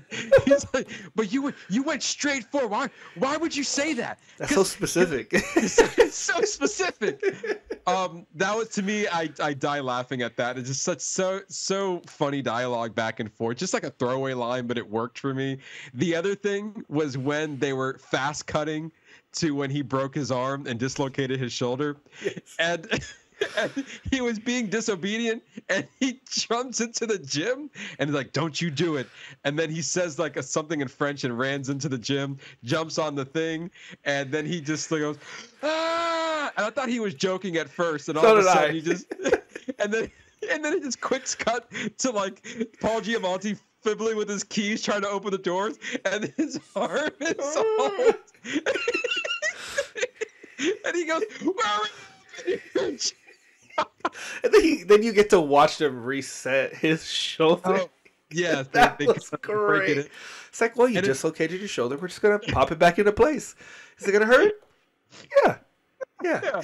and, and it's so funny because like even when they're rushing to the car and he's like i told you not to go in there he's like you're supposed to be my guardian you know so nothing happened to me and he said you were going to wash your hands of me and he was being such a little shit and then when he gets in trouble then all of a sudden it's his fault when he was creating all those antics it was it was so genuine the whole movie was genuine Yes. like I bought into everything. I bought into the dramatic moments. I bought into the comedy. The fact that this guy, this Dominic Sessa, is a first-time actor. He's never been anything before, and he was in the in the drama class. I think one of my fun facts. I might rehash this later, but I'm pretty sure that he was he was a student at the school that they filmed at. Yes, I did. I do remember reading that. He, and during shooting, I think he had he actually stayed in his dorm. He stayed in, his, dorm, room. Yeah.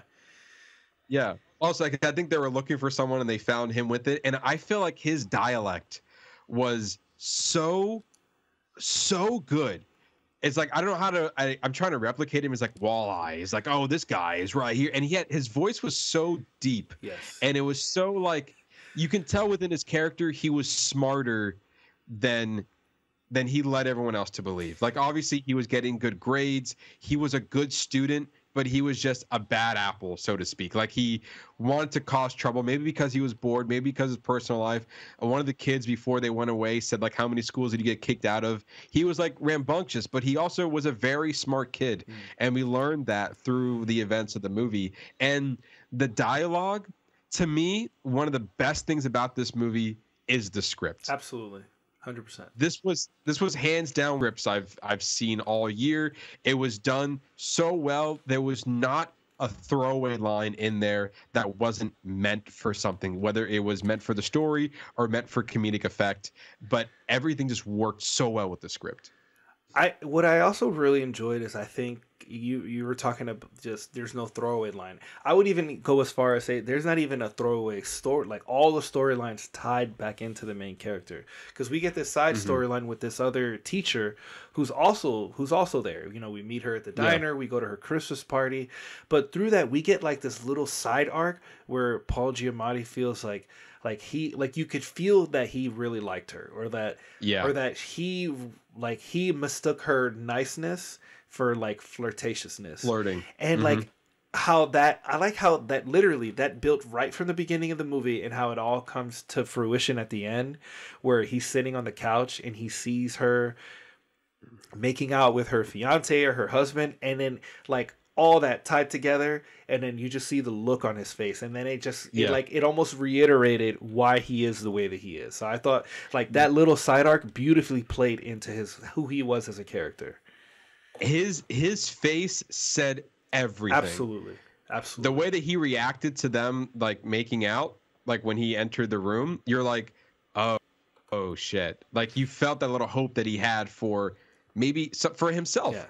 it's like because there because uh he was the the kid was making fun of him for not like have you even touched a woman? And he was like oh you're talking crazy.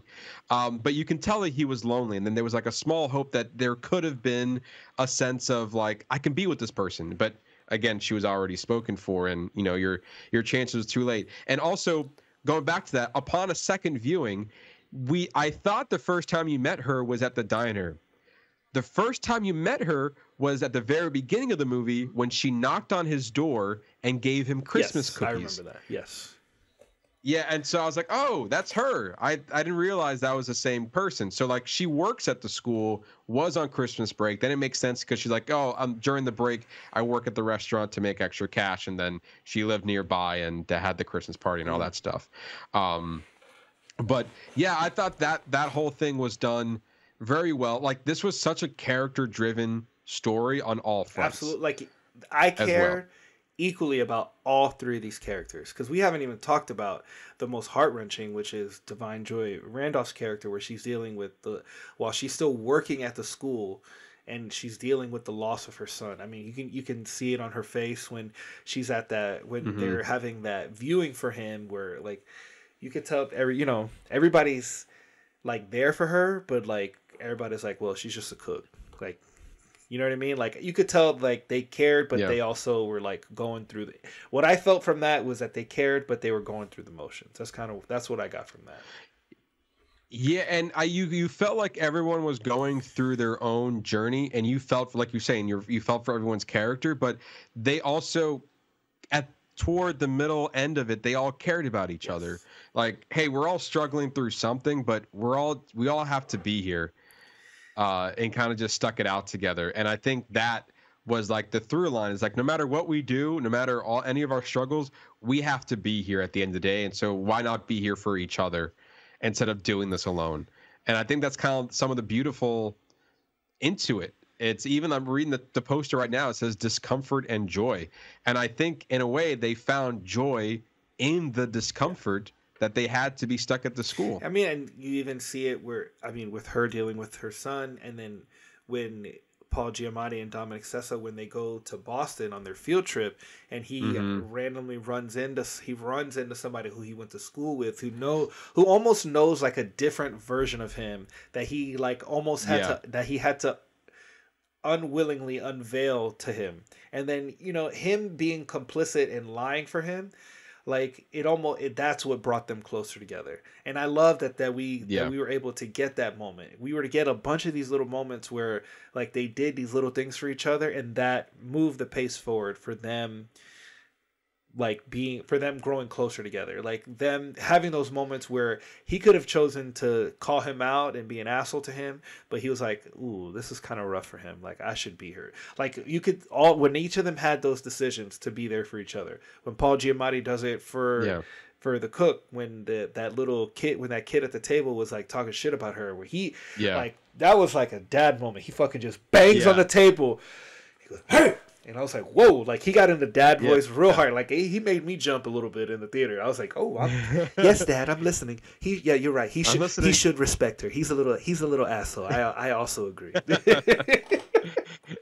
Um, but you made a good point about the, you know, Paul Giamatti lying to uh, somebody that he went to school with, and I think that's a response to when they were at the hospital. Like the the kid was lying to the doctor oh. or the nurse to make sure they didn't have to go through the insurance, and Paul Giamatti went along with it. And then a few you know scenes later, we see the same instance happen again, where Paul Giamatti clearly is lying about where he is in life, and kind of the kid going along going along with it, kind of helping him as well, Yeah. kind of showing that he's like, wait a minute, you just lied. I I condone this bad behavior. Uh, I'm gonna go along with it. He's like, "Aren't you a Um, man of like- of whatever? I forgot whatever whatever the name of the school is. Yes. Or you're not supposed to. These men from this school, we don't lie. So what are you lying about? It's and you know it's crazy because upon rewatching and I wrote this line and kind of going back to how great the script is, um, when he was talking to the the headmaster and the beginning of the movie, Paul Giamatti was, and he was like, "Are you still like on that? I didn't give like the the mm-hmm. somebody or the mayor's kid a passing grade." He's like, "He wasn't good. He he did not deserve." He's like, and the headmaster's like, "I just want you to give him a C just to get him passed." He's like, "Well, he didn't deserve a C." he failed because he didn't do the things that I had asked him to do. And and what Paul Giamatti said, I, I feel like this is what was kind of like the phrase of the movie. Maybe not, but this is how I took it. Um, he said, "Our true purpose is to produce young men of good character, and we cannot sacrifice our integrity to alter their entitlement." And and you see that kind of shift in a way, but also staying true to that. Like the true purpose is to produce young men of good character, and he saw good character in um, Dominic Sessa's character. He saw that he was a good person. He saw that he wanted to be like, especially that that twist when we thought his father was dead, and he wanted to go what we thought was maybe see his grave, Oh, what a sad and we later scene. found out that we later found out that it was to see his father at uh, at a mental institute, and and you know Paul Giamatti going along with that so he can see his dad. And I think it was that moment where he saw that he was a good person in there. Aside from what he it appeared to be, he's just this rich kid that's entitled to everything. And then he I think he realizes that that entitlement maybe be coming from his mother instead of the children. Um and I just thought that that was just a beautiful way, and especially toward the end of the movie where you clearly he's in that office and he's talking to the headmaster and he's like, like you know, I I will do nothing for these kids because they don't deserve it, and at the end of the day, he sacrifices his job and his career for the kids that he said that he wasn't going to do shit for. What a what a beautiful! Um, I, such a beautiful I, I, ending. was just about to say what a beautiful way that the movie ended, and it also and it tied in what we were talking about before, how he covered for him because he because it whether he will ever admit it or not, and I and I, I got there, I just pulled up IMDb. Paul Giamatti's character is called Paul Hunham. Da'Vine Joy Randolph's call Hmm. character is called Mary Lamb. And Dominic Sessa is Angus Tully. Yes, Mr. Tully. I hear it Mr. Tully, yes, Mr. Um, Tully. Mr. Tully. uh, they, I mean, he loves, he loved Angus. He loved him. They grew, Mm-hmm. they created this friendship and even like this familial connection over over the season where they were forced to learn more about each other. Like even Mm-hmm. when um, Angus goes into the, he's in the kitchen with Mary. Oh, and also for Da'Vine jo- Joy Randolph, I found out she actually did all the cooking for the film. She wanted to do it herself. Really? Yeah, they didn't have anybody do it. She did it all herself, and she actually picked. Oh, wow. She actually picked what they were going to eat for the holiday meal together, so that she could prepare it. So she actually she picked and she made that meal herself. I just thought that was a cool production note. Um, yeah, I I think this this is a beautiful. I mean, it's a beautiful film. It absolutely gorgeous. Yeah. Um, another scene I want to talk about is the cherry jubilee. This was toward the end where they were kind of Yes. all together, and another funny comedic moment where the waitress wouldn't serve the cherry jubilee because it had alcohol in it, and and he was like, "Well, come on, it's his birthday," and then all this stuff, and all none of that was true, but she was pretty gun ho about not serving it to him. Um, and then it's like, well, can we just have a cherry pie to go? And they just recreated it outside instead. And then it just became on fire and then it wouldn't get, wouldn't let up. And they were trying to put it out in the snow. And another, another wonderful, genuine moment that they had to kind of connect with one another. Like at that point, they were all on the same page. It's like, come on, come on, lady. Like it's just cherry jubilee. Yes, Like, that's not the end so true. It, it's almost like that familiar moment where like you're trying to do something nice for the kid, but then this like like Yeah. you're busting my balls. Like seriously, like you know that the alcohol cooks out. Like you're gonna make this a big deal. Yeah. It's like you know what, we're gonna do it ourselves, and then it becomes like this this this like mess. But then the mess and like just them trying that, like that in itself is all that kid needed. He goes, this, that, him probably doing that and them lighting on fire and putting it out was probably better than any cherry jubilee he ever would have got at that restaurant because of that that Absolutely. experience that they had together in that for that moment. Yeah, and even like it was such a nice touching moment where toward the end and he already got fired and he's clearing out his office and he's like, What are you gonna do now? He's like, Oh, I think I'm gonna write that book. Mm. Like I think I'm gonna write that book and like he, he's in the car, he's like, So do you wanna you wanna go grab a beer? And he's like, You just don't quit, do you? Like he's already at school. He sacrificed his career, he's willing to skip class so we can go have a beer together. It's like, come on, kid, stay in Yeah. school. Um, and it was just a genuine moment. And the and the what did he he took he what was it? What was it bourbon? He took the alcohol. Oh yeah, it was like uh, brandy or bourbon or scotch. It was some some expensive ass liquor. And and he drank it and he spit it out in the on the school grounds before he drove away. Um, and you can just tell that through this experience, even though he got fired, it was it was even though he devoted his whole life to the school, it was worth it at the end of the day for him. And and opened and opened the door. Be like, hey, I did something good for somebody, and and and opened a door for him to maybe do something else that he wouldn't have done otherwise if he was if he felt trapped in the school, as if he was again held over there for the entire winter break. Um, and I don't know, I just I I love that ending. Yeah. Like it was so satisfying, and then you even see it in his voice that he he lied to him again something that he swore that, he, that is not the integrity of the school and what their values are to lie and the kids and he and the parents were quick to send him to military school Yeah.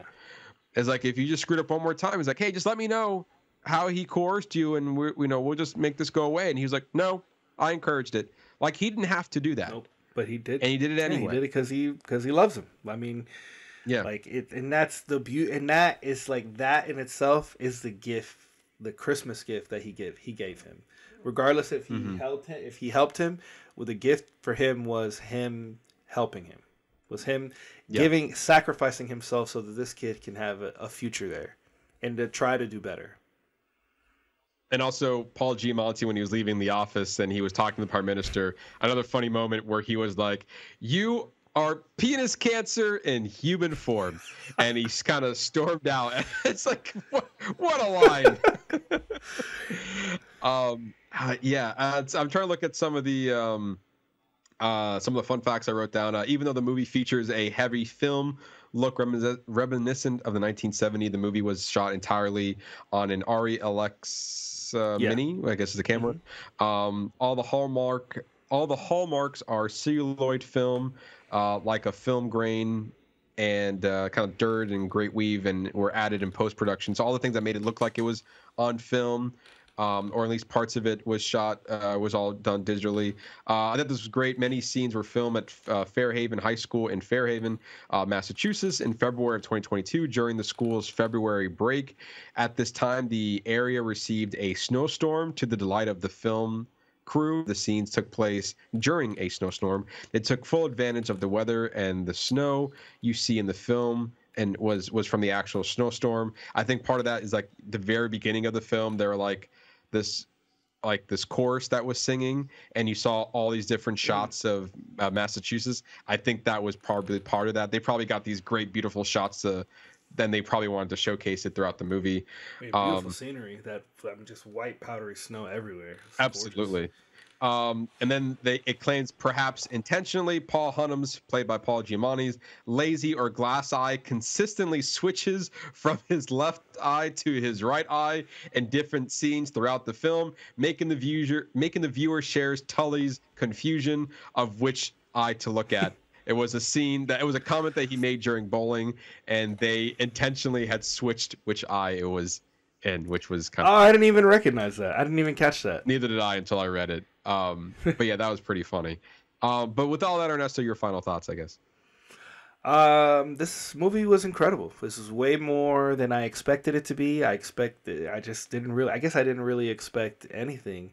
Um, I thought. I thought it was a beautifully written script. Uh, just the cinematography, the view, this the the feel that they were able to give give us uh, that time capsule feeling. Like it j- legitimately felt like this movie was made in the '70s and that it just was just uncovered for us to see now in 2023. So I- I understand that that was the vision, and I, I, I, you know, and this is like it's set in the 70s, but the movie's almost timeless because it, Yeah. it very rarely mention like it just it's just kind of like where it is in that point in time.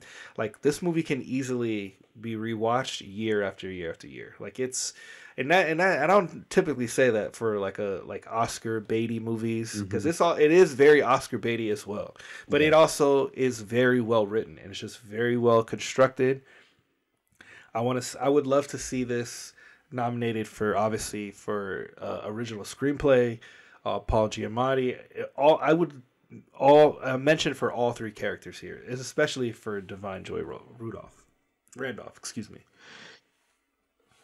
Um, yeah, no, I think the fact that, you know, we, we talked about, you know, for example, Killers of the Flower Moon and how a lot of people are praising that movie for what it is. But I think at the end of the day, what we resonate with more, and I can even use Coda as an example of this, is like it's such a human story, and anyone can relate to a human story. And when you're able to touch the audience that way of all this relatability, and maybe you're not used to being held over at a, on a on school grounds for a winter break, but you can understand some of the feelings of you know one character feeling grief, another one feeling loneliness, another one feeling that they don't belong in their you know they can do better for themselves, and all of that kind of mixed in together. It was so, like when you look at the Oscars, I consider this as a full meal. Absolutely. meal. Best to me, this Hands down. best picture 100% this has everything from the cinematography to the actors to the to how the way it was directed um but i think more more than anything good you're right I am, but I was gonna wait for you. I was waiting for you to finish your thought. uh, I, I felt like you're about to die I, I i saw your face and you're like i gotta say something right now that's why i stopped Uh, i was like I would, I would just as when you're talking about the Oscars, I, I didn't even think about it. Production design, uh, uh, production, hairstyle, Oh, yeah. makeup, especially for it being a timepiece, for being set in the '70s, for it to hit it so flawlessly, and how that tied into the cinematography as well. Like it really, really is the whole meal. And when for my final thoughts, I forgot to give you my Letterboxd score. I'm gonna go with five. five um yeah and so i i think that the um for me the script was probably the biggest thing i i enjoyed most about this movie so if this were to win any award for me hands down for best original screenplay it's it's just like i don't know it just felt so captivating and so engaging and so so human The fact Like, that you're willing to go back to it so recently, and that I can Yeah. easily see myself watching this next year during Christmas. Yeah.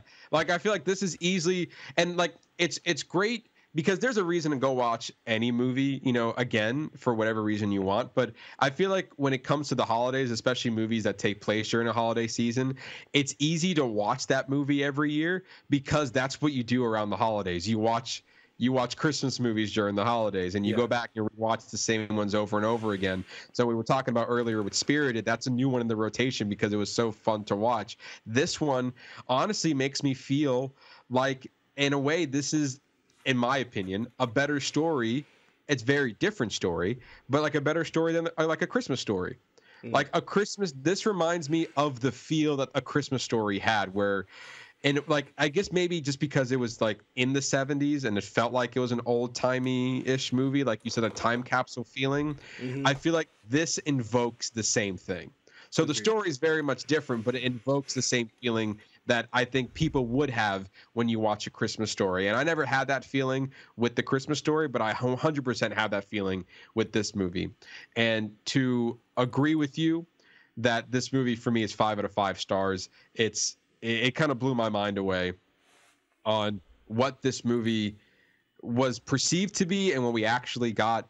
Um, it's arguably best picture material and maybe worth winning. I we have to see what the what the results and the official nominations are, but like there's not many movies that I saw this year that I want to immediately watch again. That's a Um, good point. and so the fact that I was able to do that, and I didn't like, I didn't feel like I was like, oh, I just watched this. It was kind of overdoing it, but like I felt I was right back into it because and like I wanted to see what I might have missed the first time, um, or maybe there were throwing in little nuggets that I wasn't paying attention to earlier in the film than they were throughout the film. Mm. But I, I love this movie. I, I think part of the reason why I like it so much because I wasn't expecting it. Because the trailer told me that I wasn't going to like it, and then it proved me wrong, hundred percent. Um, Happily proved you wrong. happily proved me wrong. And I just want to go back to the the writer, the fact that this is his, you know, his his um, writing debut for a feature film. Let's uh let's have more of that. Yeah, give this guy another give this guy another crack at another script. Like I'm I'm here for whatever he's whatever he's gonna put down. Yeah, he has my attention. And I did not watch I did watch Downsizing, which I did not like that movie, um, going from Alexander Payne, but it makes me more interested to watch The Descendants or Nebraska, because I feel like those are more drama heavy, and I think those two movies were also nominated uh, for um, for the Oscars. I believe he's already won an Oscar. is going to double check that. Um, For Sideways, maybe? for he's won two Oscars already. He's won one Oscar for best adapted screenplay for The Descendants in 2020 in 2012, and he won for best adapted screenplay uh, for for Sideways in 2005. Um, so yeah, so I, I don't think he was credited as a writer, and I think if I read this correctly, I think this is one of the first films that he did not have a hand in writing. Um, I could be wrong by saying that, but I think I read that somewhere. And so, so with that, he definitely has an eye, and was definitely this felt very personal to him, um, some way, shape, or form. So, again, love this movie, hands down, five out of five stars. I look forward to talking about this again when we're comparing it to other films when it comes to award season, because I'm I'm pretty certain after watching this movie, it's it's going to be up there. Oh, it's absolutely gonna be. It ha- it better be in the conversation. It needs to be. And again, as we talk about our recap of 2023, as we talk about the best of, th- this is a high contender for me as well. This is this is up there for some of the best movies I've seen this year. Well, let's look at let's look at some of their uh, financials here. Oh yes, yes. So, do you happen to have their budget information? I I was looking this up earlier and I couldn't find a definite answer on how much the budget was. I can relook again as we are going through that. But world, you know, domestic it hit 15 million, which I guess for a movie like this seems average. It's average because it, it does it didn't have a it does, seems like it didn't have any like I mean it, it doesn't even have an international release so it's only it's only here in our market here so it's Yeah. not gonna you know you're not gonna look at a big budget but I think for a small film like this 15 million is great Yeah. Um, this is from Collider. It it doesn't look like I'm getting much. They're saying this passes after adding. Um, they're saying that this potentially cost thirty million dollars. Ooh. Um, I'm not getting a uh, a definitive answer here. Yeah it doesn't seem like they I'm not sure if those numbers were out just yet. Or I, I believe the film. Okay, so the film premiered at Telluride Film Festival early this year, where it was scooped up by Focus Features for a reported thirty million dollars. So we don't know how much the movie cost, but we know how much Focus Featured paid for it. So I guess that's something to go off of. Okay, well, I mean, once Oscar season comes out and more people hear about it, then the push, the push, you know, it'll see a resurgence later. But I'm I'm here for it. More people need to know about this film. More people need to see it. It's fantastic. Go Yeah. see it. And it, you know, and it's one that can be enjoyed every Christmas. Yes, hundred percent. I this will definitely be in the rotation. Like I said, my only regret is not spend the extra ten dollars so I can own it because I think if somebody else asked, I would watch it again in a heartbeat. Yeah. So, but anyway, there you go, guys. That's a full show for you guys.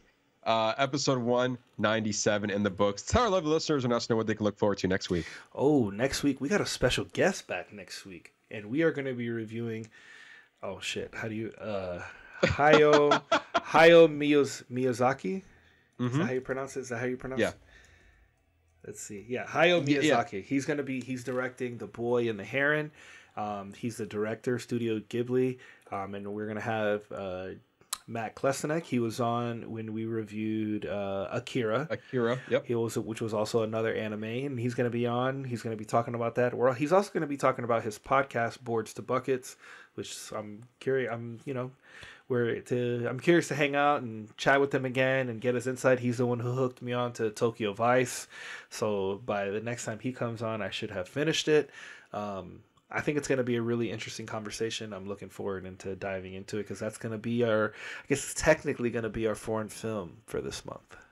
Yeah, and I a lot of buzz was surrounding it. I remember we were talking about this movie earlier this year about the marketing, how there was zero. He decided not to release a trailer. He not he only released one image, and it was a very like uh, nondescript poster of the movie. And then after that, he was keeping quiet. Obviously, this film was already um, released in, I believe, in Japan. It was released. I believe yes. And yeah, and so now it's hitting the worldwide market. So obviously, as as you know, the film's already out, so we're seeing more posters and more trailers about it. But because the the creator was more specific about not seeing it, I'd never seen a trailer, and I only know the poster, the more recent poster that came out, the one that's advertising their stacked dubbed voice cast.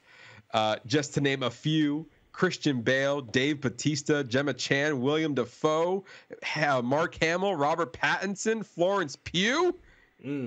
Well, I might have to. I might have to watch it subbed then. I, I, I have a, I have it booked to see it subbed with the Japanese. Mm-hmm. I don't know though. oh, I'm so torn. I, I'm seeing it dubbed. So uh, I, I mean that's no no surprise there for you, Ernesto. I know. Uh, but but yeah, I I don't know. I was really interested in the voice cast, and so maybe if you see it in subbed and I see it in dub, we'll make might walk out with two different experiences. But Okay. I'm not, I'm not I'm not gonna tell you how to watch the movie. You can watch it however you want. well, most of his stuff is on Max right now, so it's safe to say that this is going to be online somewhere later. So I don't know. I could always rewatch it later. Very I, true. I'm gonna watch it subbed because I'm very adamant about watching it in the voice that it was recorded in. Although I do love to hear the voice. That voice cast sounds it absolutely incredible. Yeah, and, this movie was getting a lot of buzz, and it still is. It's I feel like it's be like when it comes to animated movies, this one is almost certain to be up there for best animated feature at the Oscars. And I feel like everything that I've been hearing, it's either going to be down to Spider-Man or this movie when it comes to who's winning the award. These are the two movies. I guess we're Uh, gonna find out next week.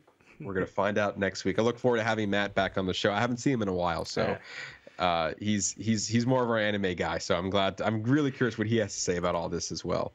Um, so there you go. If you want more from us, you can always follow us on our social media channels on Facebook, YouTube, and TikTok at Box Office Bingers. Our Instagram and Threads page at Box Office underscore Bingers, and our X and Letterboxd page at Box Office Binger without the S because apparently that costs more. Yeah. Um, so we, we can't afford the extra S on those two. We'd like to thank each and every one of you for listening to us just talk about about movies. Really do appreciate it. Come back next week for more movie fun. You're not going to regret it. And for that, I've been your host, Matt Diaz. Ernesto Santos. See ya.